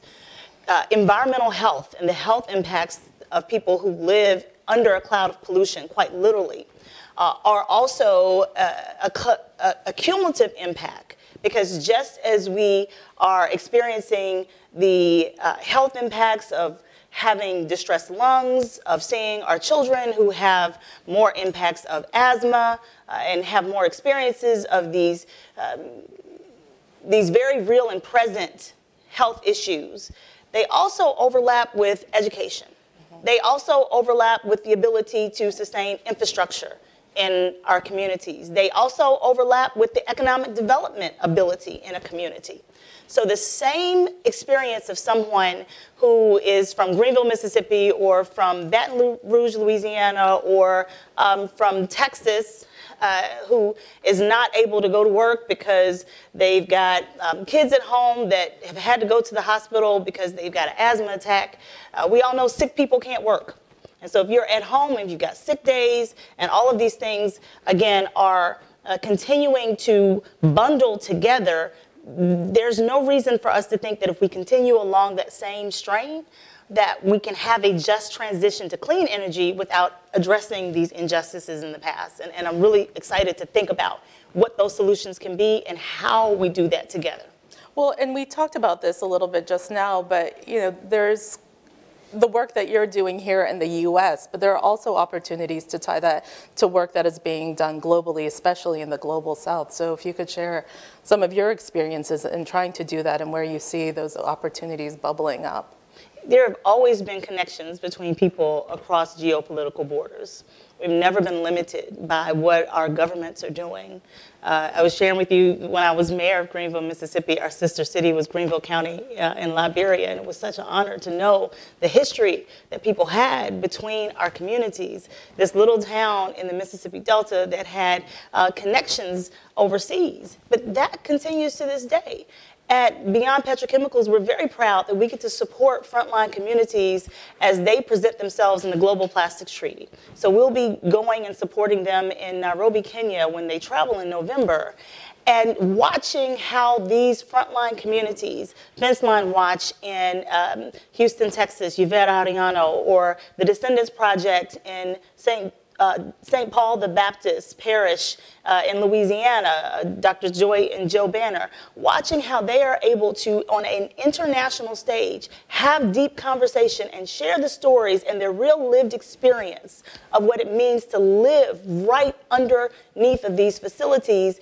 it bears such resemblance to the exact same experience of people who are living in other countries. And it's those stories that is really moving how our governments are deciding where and what we're going to do to reduce plastics uh, globally, uh, how plastic pollution should be addressed, and then what are the steps to ensure economic viability of our communities globally moving forward. It's the people's story that, that's moving this action. And I think that's when we put that emphasis and put economic development along with that, we really begin to see significant change for our future. Thank you. I mean, and you know, this leads me to kind of your background in this work, and especially in Pakistan, Dr. Ali. You know, looking at global discourse on these topics, there have been conversations on how the transition to renewable energy has the potential for and is already leaving behind those in low-income or emerging economies in particular. That these countries don't have adequate access to financing needed for the transition, and that even so, the shift to renewables could be detrimental to their human and economic development needs. But how do those who are in the seats of power take in that discourse? Is it being taken in? And if not, what opportunities are there for these communities to insert themselves? Well, I think that discourse is, uh, I, I do agree that, I mean, there are, we live in a world with unjust systems. And uh, I, I, think those discourses are not only uh, not being you know, uh, dealt with adequately within the global south, but they are, um, you know, I mean, those discourses also generate uh, largely from the global north as well. And, uh, you know, I mean, there is something about these like asymmetrical, I mean, I, I know we've discussed uh, um, the idea of international financial institutions earlier, but, you know, there is something about the market mechanism when it intersects with power, for instance, right, or, or, deprivation. And it creates these asymmetries, right, which are not, uh, you know, which are not unique, which are not um, uh, rare, I mean, they, they happen frequently. I mean, they happen even in the global north if one looks at the inequities. I mean, uh, on, on paper, this may be the land of opportunity, but we know that social mobility and because of historical reasons and, and so many other factors um, uh, that, that we don't see a level playing field. And similarly, I think in, in those parts of the world as well, uh, you know, there are, so in Sindh, for instance, uh, with this whole idea of like carbon trading, there's, there's uh, you know, there's the idea of, uh, of um, investing in the mangroves. Mm-hmm. Which seems like a, a, great idea, but you know that investment, um, when it's done in this, um, you know, in this exclusionary sense, uh, denies local uh, indigenous communities, fisher folk, mm-hmm. uh, you know, access to mangroves because they are, they are initially sam- uh, saplings, uh, you know, and, and they have to be looked after. So it creates, you know, further exclusion. And then alongside that exclusion, I mean, you have trawlers now deep, deep, deep sea fishing. Mm-hmm. So, uh, so you know, often in, in the, the, the, solutions that one sees unfolding on the ground, there seems to be two steps forward, but also certainly one step back. For, uh, uh, sure, and I know that, you know, I have discussed, you know, the new resource curse that is uh, you know, being faced, especially in the move to renewables. So how do you see communities responding to this new resource uh, curse, especially those marginalized communities in, in the global south? I think there's some level of agitation, but you know, even in, in, in the politics, I mean, for Pakistan, for instance, I mean, the last prime minister uh, sort of, you know, uh, jumped on, on, on, the bandwagon, and, and rightly so, of trying to do forestation big, you know, the, the, the, tree tsunami, he called it. And he got international attention as well. But that is also then happening alongside these urban industrial projects, which are quite detrimental. So trying to build a new, uh, you know, create this new riverfront on the Ravi River in, in the city of Lahore for instance, like this huge mega uh, project was quite problematic for a, a, variety of environmental reasons and the dispossession that it was going to cause for the local communities. So I think that they you know, I mean, one can see some project-based, uh, you know, innovation. One can see people trying to be resilient in the way that people uh, are, because, I mean, we have a tendency to cope with the circumstances that, that we find ourselves in. But they don't, you know, I mean, one doesn't see enough leverage being uh, exercised to be able to kind of push back on these ideas. So, you know, and, and as a consequence, we, we've seen uh, food hikes uh, uh, co, you know, coexist and in fact being encouraged by things like you know, the move towards biofuels. Uh, we've seen you know, with, with cobalt, what's happening with the mining of cobalt in the DRC. Uh, we see now in Guyana, like Exxon moving in, and then Guyana, because there's such a financial crunch, has to, you know, is thinking of that as an opportunity to invest in resilience. I mean, we saw in the COPs, uh, you know, how uh, there's all this emphasis on curbing emission, not emphasis on uh, enough emphasis on mitigation, right. uh, on loss and damage. I mean that that it's come out as a nice term, but one hasn't uh, seen uh, you know much action on it uh, thus far. And uh, with with the new COP and where it's going to be, I mean one one wonders. yeah. I mean, I'd love to dig into that a little more in a bit, but I, I want to turn to Camila first. Um, Camila, I hope you can hear us um, and see it, uh, us in the room. But um, your work is driven by the recognition that the discussions around global climate policy making process have been very technical and quite, quite frankly, just inaccessible. You have personally walked away from a COP convenings feeling disenchanted, undervalued, and as a young person of color, from the Global South. Do you see meaningful pathways for representation and what is lacking in these spaces? Well, um, yeah, I, I saw. Actually, I was like feeling in my skin during my first COP. I was there and I was like, I wasn't understanding the conversation and it wasn't for lack of education but it wasn't because they chose to talk a language that isn't accessible for people like me. So I decided to ask the dumb questions during the sessions. And some of those folks there was like, oh, this is room is not for you. Uh, then I come back home and I think, okay, it, what is lacking is people like me earn a seat on the table. Because we are taking the streets. I was part of like one or two climate strikes during the call. But when we entered to the conference, I was like out of the conference. Like I was there like observing, but without any right to really participate and be heard.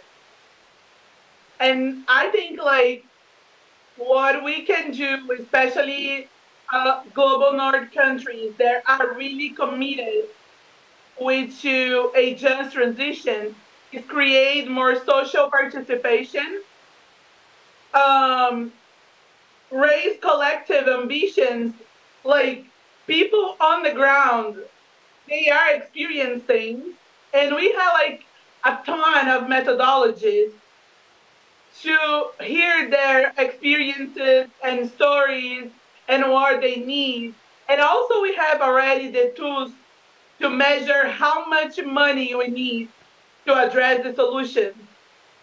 I've been heard a lot of discussions around mitigation, but now we need to face what is happening. Like we need to adapt. And like the global south countries, the developing economies, I felt that we are we had like this willing to contribute but we need to to be invited for the decision making tables. Um, I think many of initiatives led by youth, they they are good to mobilize the society around the issues, but they still are not providing too much solutions because we don't have the opportunity to work on the solutions together. Uh, so I think is our is our rule now create these spaces when where like people like youth driven projects or um, grassroots initiatives can be part of uh, the, the like the big picture plan you know yeah. Uh, uh, thanks for that, Camila. And that begs the question, you know, will you be going to the next COP? Yeah, okay, uh, probably. I'm working on it. Um, but but I, am confused about the next COP a little bit, especially in, well after everything that is happening now. It's probably more that this COP will address different topics than the like phasing out fossil fuels, or uh, we probably will talk more about food systems, which is important as well. But uh, we, but some of the issues that we need to address now, because we are far away from the 2030 um, metrics and, and goals. So, like, if we're not discussing phasing out fossil fuels and just transition from the ground like okay we can go to renewable but like how the communities feel uh, when the equipment get there how their houses are like now. So yeah like i think this cop is an opportunity for the global community to step up for a very serious conversation and get out of the probably um, corporate interest. Like we are not against people getting results, but first people need to be alive to get results after. There's certainly a lot of truth in that.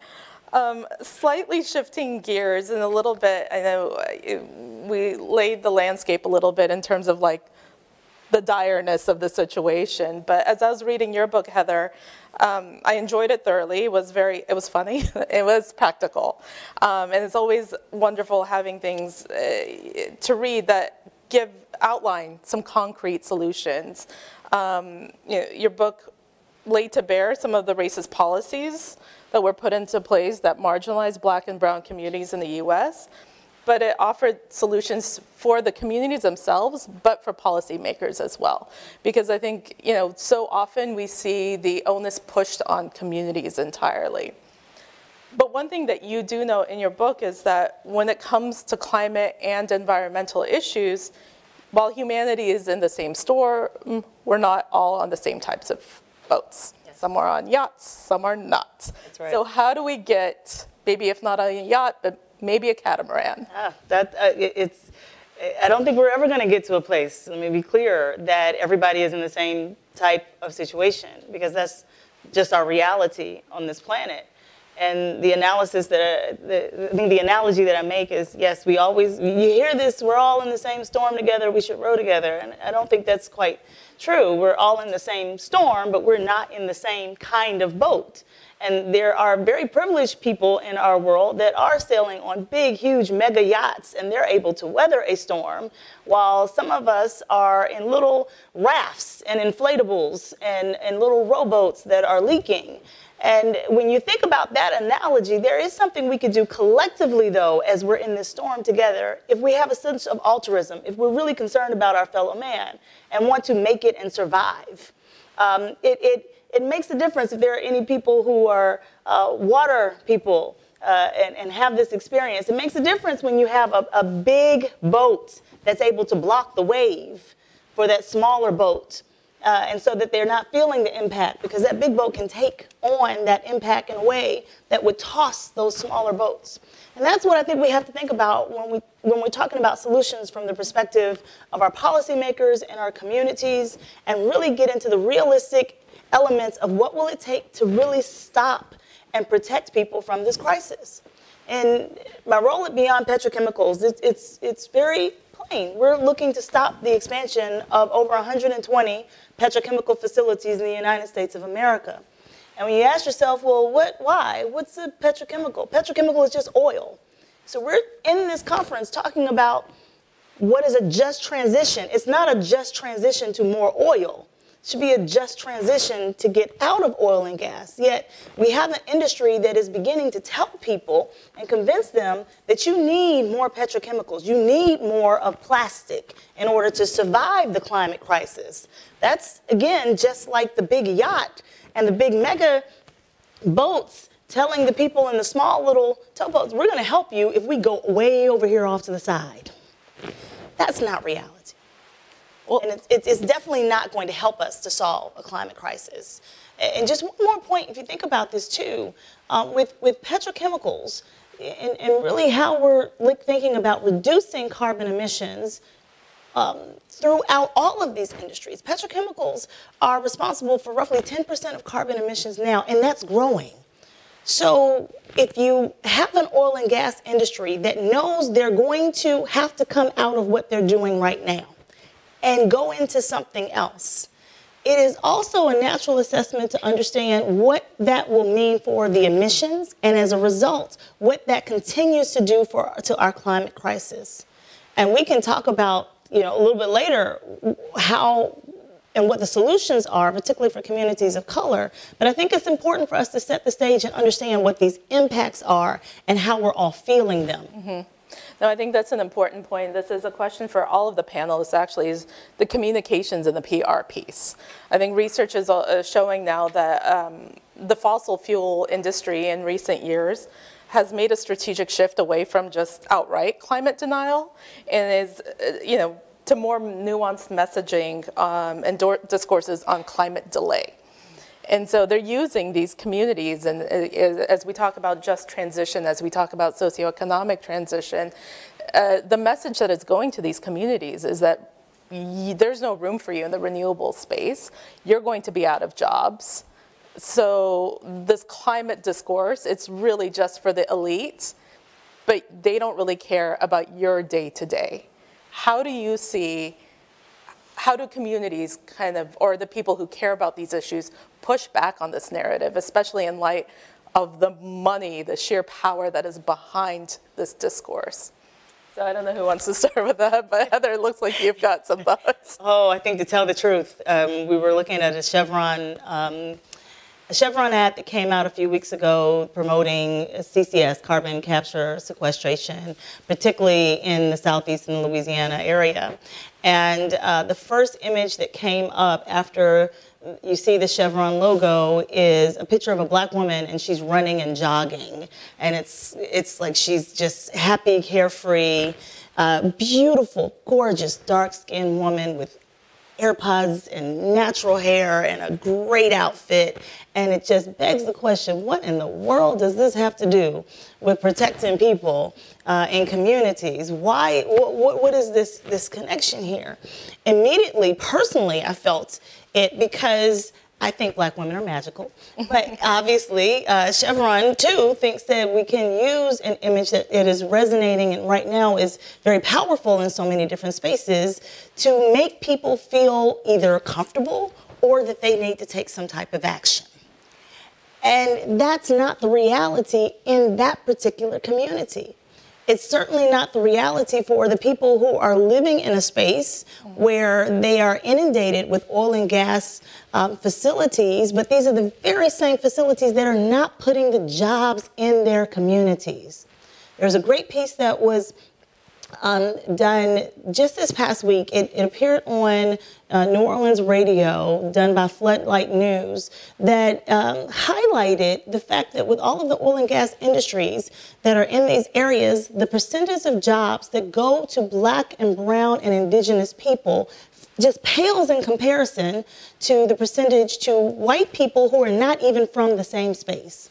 So they're giving this message that they're bringing jobs into a community for people that make up 70% of the working population, are people of color, yet they have less than, they have 19% of the high paying jobs. People who are, have the jobs, they're bringing from uh, other places. And then these same industries have the audacity to say it's because people are not qualified.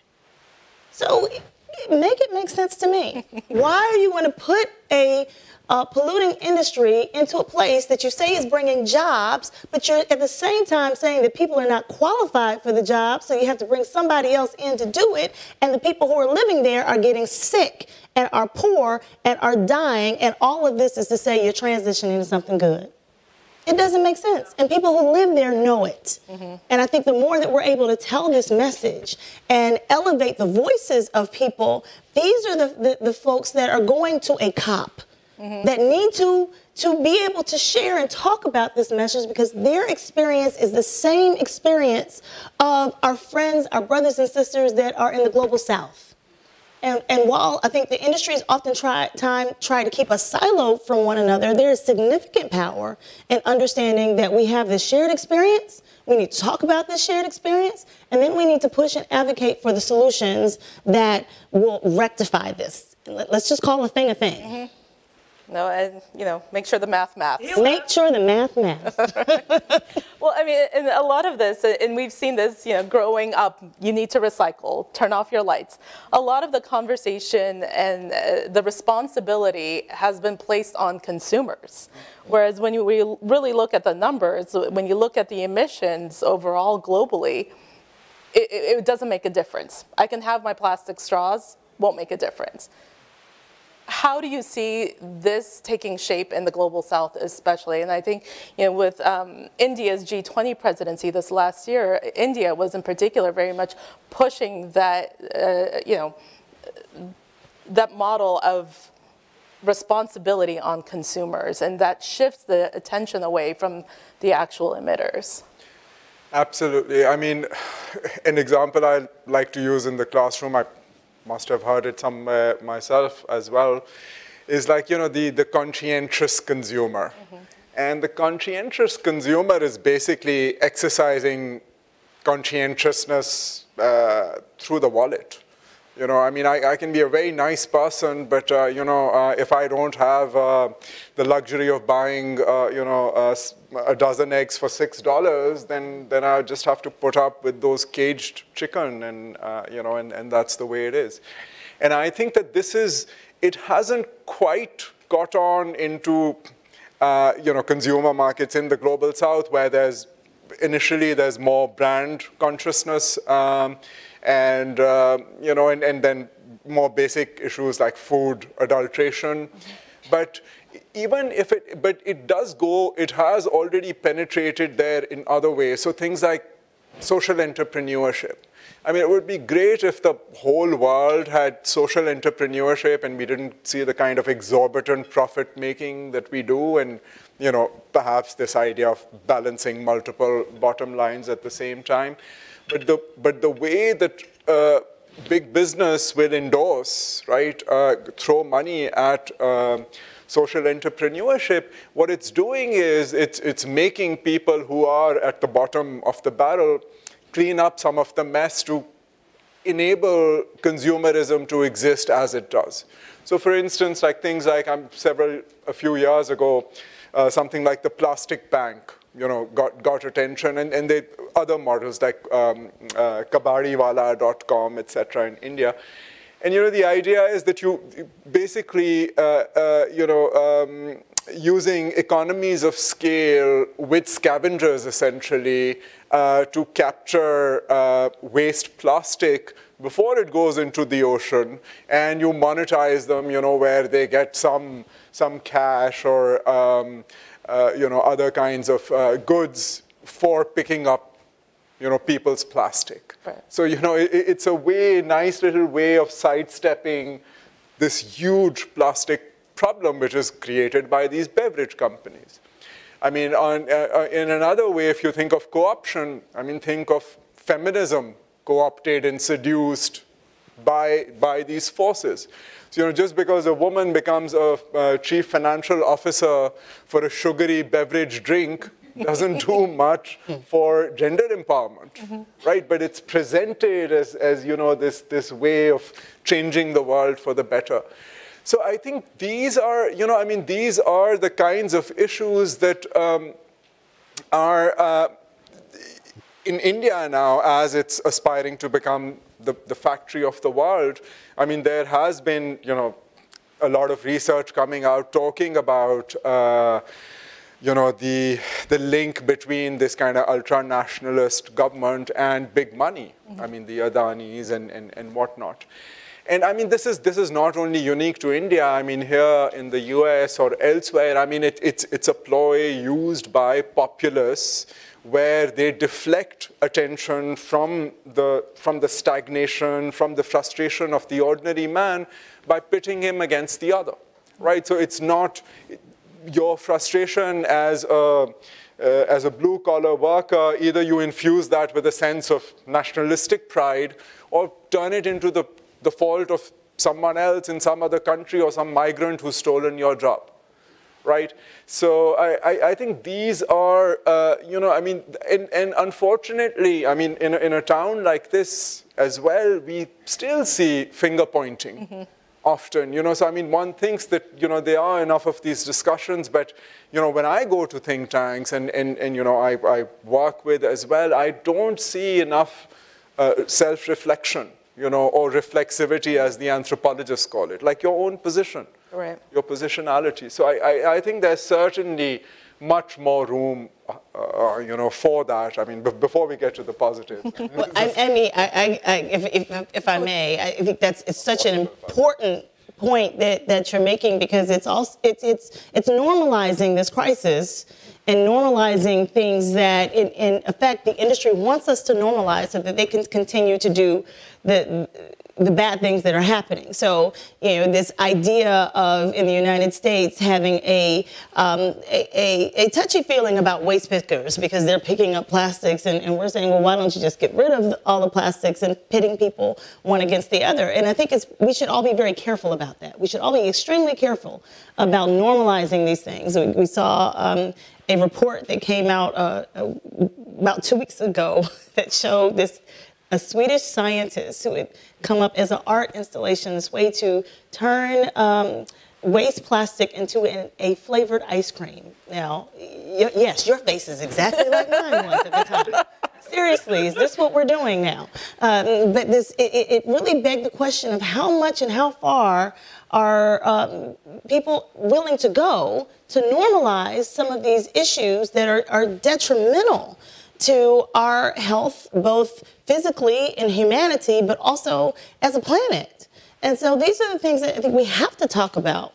Uh, it begs the question where is the funding that really needs to come to communities to help us to come up with solutions, right? You talk, we talk about the solutions a little bit, uh, but it, we, we have right now venture capitalists the amount of money that venture capitalists have put into minority communities, the black and brown innovators and creators that are coming up with climate solutions. Again, that's a, a it was 2% of all venture capitalists are funding black and brown inventors.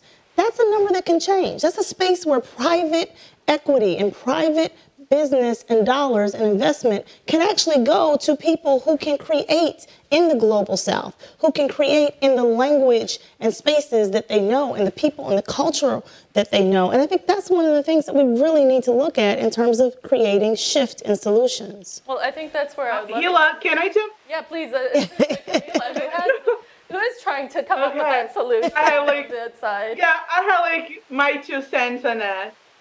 Um, few months ago, I was in a room with like over 300, 200 advertisers, talking to them about regenerative communication. Um, because yes, the industries they have like the bad products or some stuff, but is the advertisement industry that is responsible for create the desire for this overconsumption behavior. So if we don't work on those that understand how the human minds work for the desire of a more sustainable way of living, we will continue um, with this blaming game to the individual's practice, like putting the individual side the responsibility for save the planet.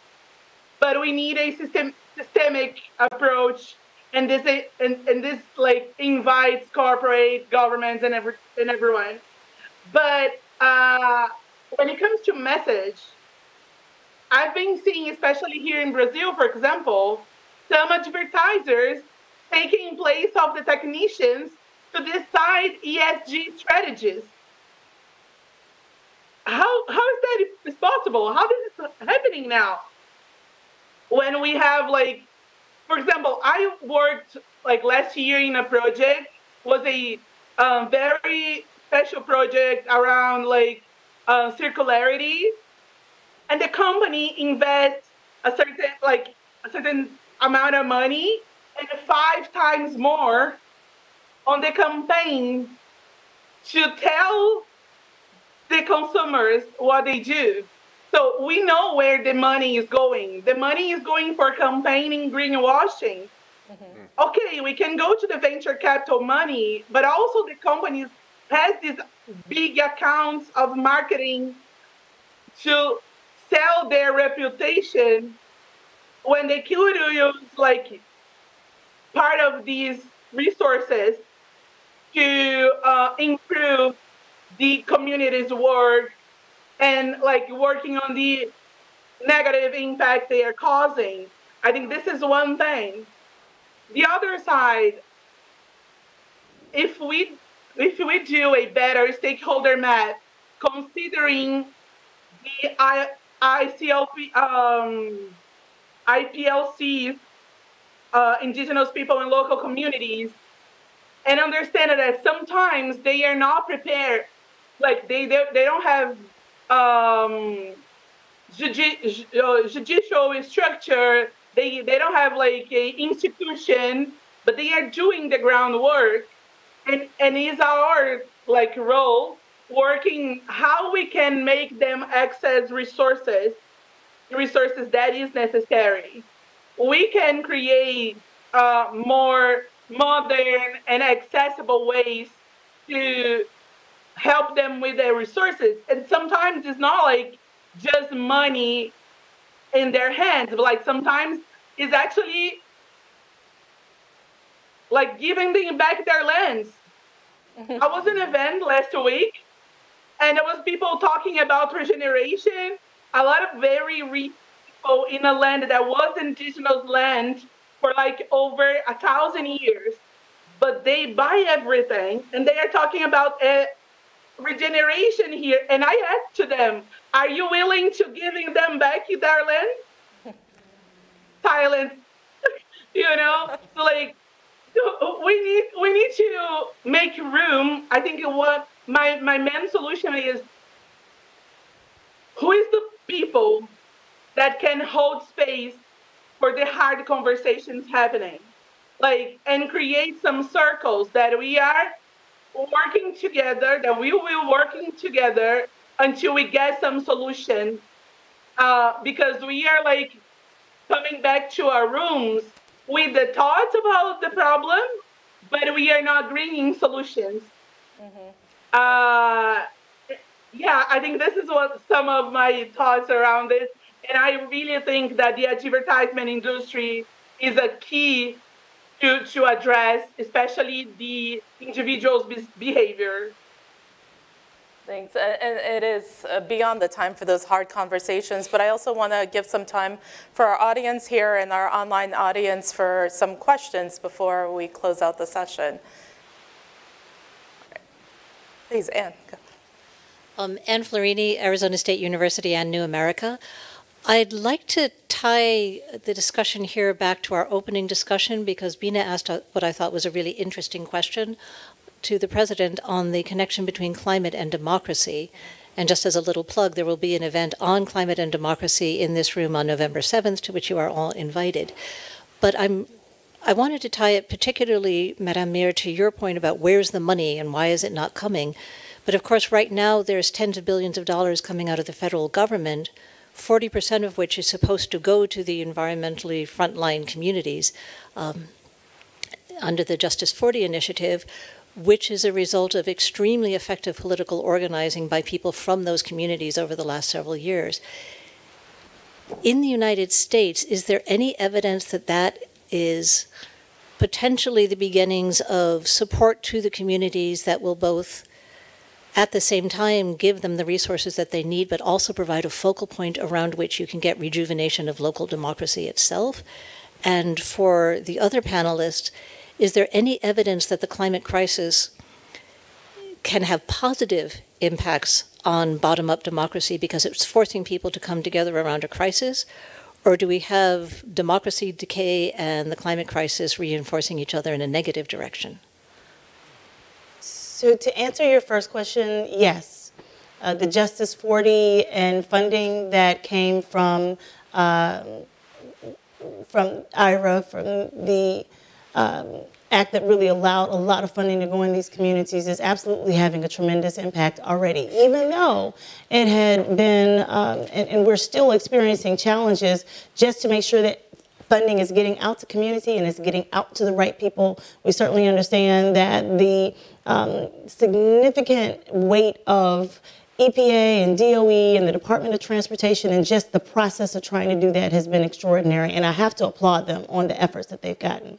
But we're just coming back from uh, New Orleans, Louisiana, the HBCU Climate Change Consortium, with over 400 people from government agencies and nonprofits and, um, and students alike, where these are groups that are also benefiting from an EPA Thrive grant. And this is how communities are coming together and having these conversations and bringing in people from all over the country to talk about the solutions. That's happening in part because of uh, additional funding that's coming through Justice 40. And, and uh, we just left, and I saw a, a, whole station from NASA that was set up here. Uh, again, in this space that was directly addressing and having these conversations with students on a level that we've never thought of before. So that first answer is yes, and we should all be empowered by that. the same time, we have to be very concerned because it is under attack right now we have a representative, Representative Scalise, who is one of the people who is up for Speaker of the House that's coming from a constituency based in Louisiana that is facing extreme environmental challenges. There's salt water going up the Mississippi River. We just talked about that. And, and so the idea that we could be in a position with a federal government that is already um, right now uh, an administration that is doing their darnest to be able to uh, live up to the commitment of, of, environmental justice as they stated when they began. Uh, that's also fighting with uh, a, a legislative body that doesn't like regulation. So these communities need your help. They need your support. They need this advocacy. Um, passing IRA was not enough. You can't pass it and don't support the entities and the communities that need to continue to see it done. So, you know, I know there was a lot of celebration after we got that finished, but there were folks that were saying, okay, now we need everybody to get down on the ground with us and keep pushing and keep fighting so that we can continue to have a flow of funding and we can leverage it and we can talk about private investment and we can begin really having, I think, more a global impact. That's the next level and next space where we are now. Great. We have a, a very large question uh, from our global uh, online audience, which is that more and more the world seems to be retreating back into camps or zones of influence, which can only make global efforts to tackle problems like the climate crisis more difficult. Is there any way to reverse this trend, or do we have to figure out ways to work within this new system of essentially great power competition? I, I, I think that there's certainly, I mean, there is local resistance. Uh, you know, there's agency, there's solidarity, but it is David and Goliath. And I think that that big cruise ship or yacht does need to come to the fore. And I think in, in the geo uh, strategic space, what needs to happen, and we've been trying to push this through different think tanks, you know, the idea of China and the US, for instance, right? So, I mean, th there was a time in the Nixon, Nixonian era where, uh, you, you, know, that rapprochement happened through Pakistan. It, it, you know, it's, it's a roller coaster relationship. I'm, I'm uh, you know, I'm aware of that as well. But there are possibilities in these, you know, countries to try and green CPEC. Mm -hmm. for instance, right, for the US, and that would be the interesting possibilities there. Uh, I, I, think now with the new uh, COP, I mean, Saudi is trying to, you know, has been in discussion with Pakistan to set up a $10 billion oil refinery. Right, so I mean, this set, you know, while it's trying to transition itself, you know, there is this fear that a lot of this obsolete, you know, uh, technology gets shipped off elsewhere. So I think those are kind of the, the concerns and also the opportunities where I mean, you know, and, and, the possibility to leapfrog. I mean, if that can happen, but I mean, of course, it needs, uh, you know, it needs resource commitment and it needs a, a less um, acrimonious uh, engagement for which there are also vested interests. Well, I think we have one more question from our audience, and then I think we'll have to close out the session. Um, hi, I'm Emily. I was uh, one of Saeed Mohammed's um, previous students um, at American University. so my question is about um, activist movements um, like related to debt for climate.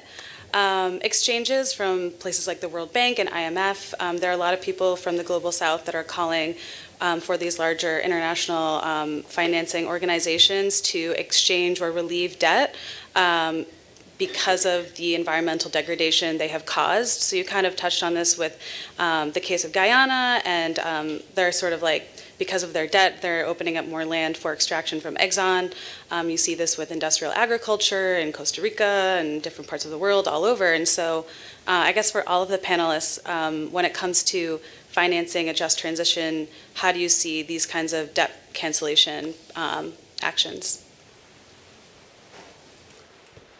that would be the most beneficial uh, way, way to go about it. Uh, I think you have to look at a, um, a, a, a, body of financing. There's not going to be one particular avenue. And certainly as um, in, I think we have to look at this with, with the eyes of, of a financing perspective. Um, because while there's relieving debt, there's also making a profit. And so, with every debt that's relieved, that's either coming off of someone's books or it is now giving an opportunity to create profit. So, really, profit is the end game, not just the debt relief. And when we think about that profit side of it and who is getting the profit and why and what is the purpose of it, is it really driving us to a space where, again, we're getting into a fossil fuel economy and we're moving into uh, a transition of renewable energy? I think that has to be a part of this debt relief conversation.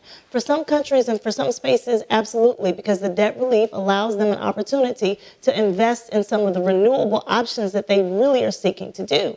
But in some spaces, yes, there's definitely a conflict. If um, the debt relief is associated with Exxon taking and getting rid of its old oil refinery stuff and then giving it to a space in a, uh, a, a, country or an opportunity to not not updated or upgraded, then we have a bigger problem than what we started with in the first place. So I just think that there's a bit more to that question that doesn't only rely in relieving debt, but must be married to the point of getting the profit and profit into communities that, that have historically needed it, but also are really looking to drive a renewable uh, economy for themselves.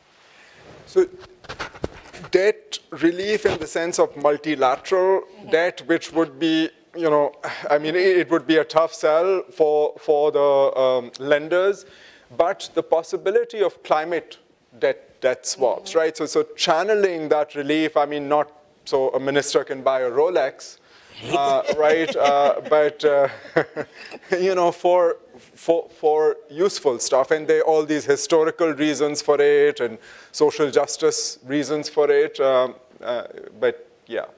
I know I said last question, but I see that President Sirleaf has a question, so I want. Thank you. I don't really have a question, but I want to make a statement, and maybe that might inspire others to respond to that. Uh, everyone knows that biodiversity is concentrated in the global south, mainly in the form of forests, large forests. Forests have been used as a source of livelihood for communities. There have been a movement of trying to make sure that the preservation of forests are maintained uh, in response to give some support for community development. Most times, very primary support that will not do any transformation of those communities into self-independent, self-sufficient communities. Um, we also have a question of uh, many of our countries that rely on fossil fuel. That's how they create the domestic revenue to finance their own social goods, to finance governance. And there's a lot of pressure now coming uh, from partners that says we're going to cut off assistance unless you stop producing fossil fuels. Uh, the reliance then is on, well, we're going to get through through uh, the COP arrangements. There's going to be a flow, and we know that there have been so many meetings with the COPs and the uh, commitment to provide these level of financing to enable countries just has not come. The money has not come. And when it comes to forests, there's now a big, it's like the gold rush now, carbon credits.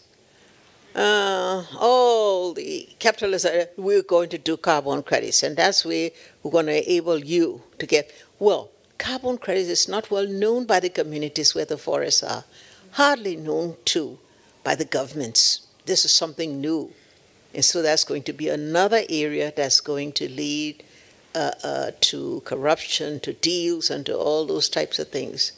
So maybe now we may have to, some of our countries in the global south, decide that if the money isn't coming, we're going to be very clear about barter arrangements. We'll go back to the old days.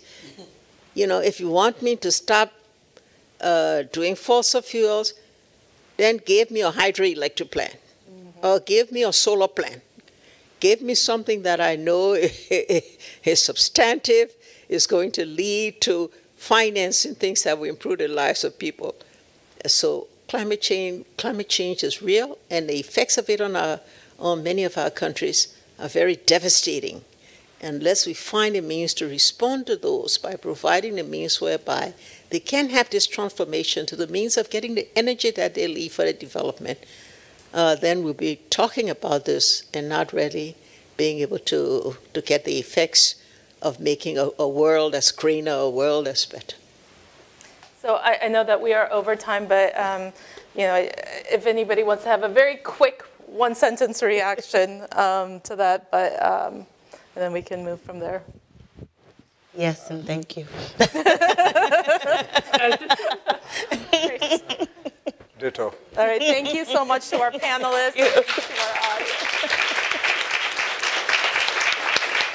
Um, this has been a wonderful event. I want to thank you, Madam President, for joining us. Thank our panelists. And um, stay tuned. Conversation's still going on, and you're invited. Thank you.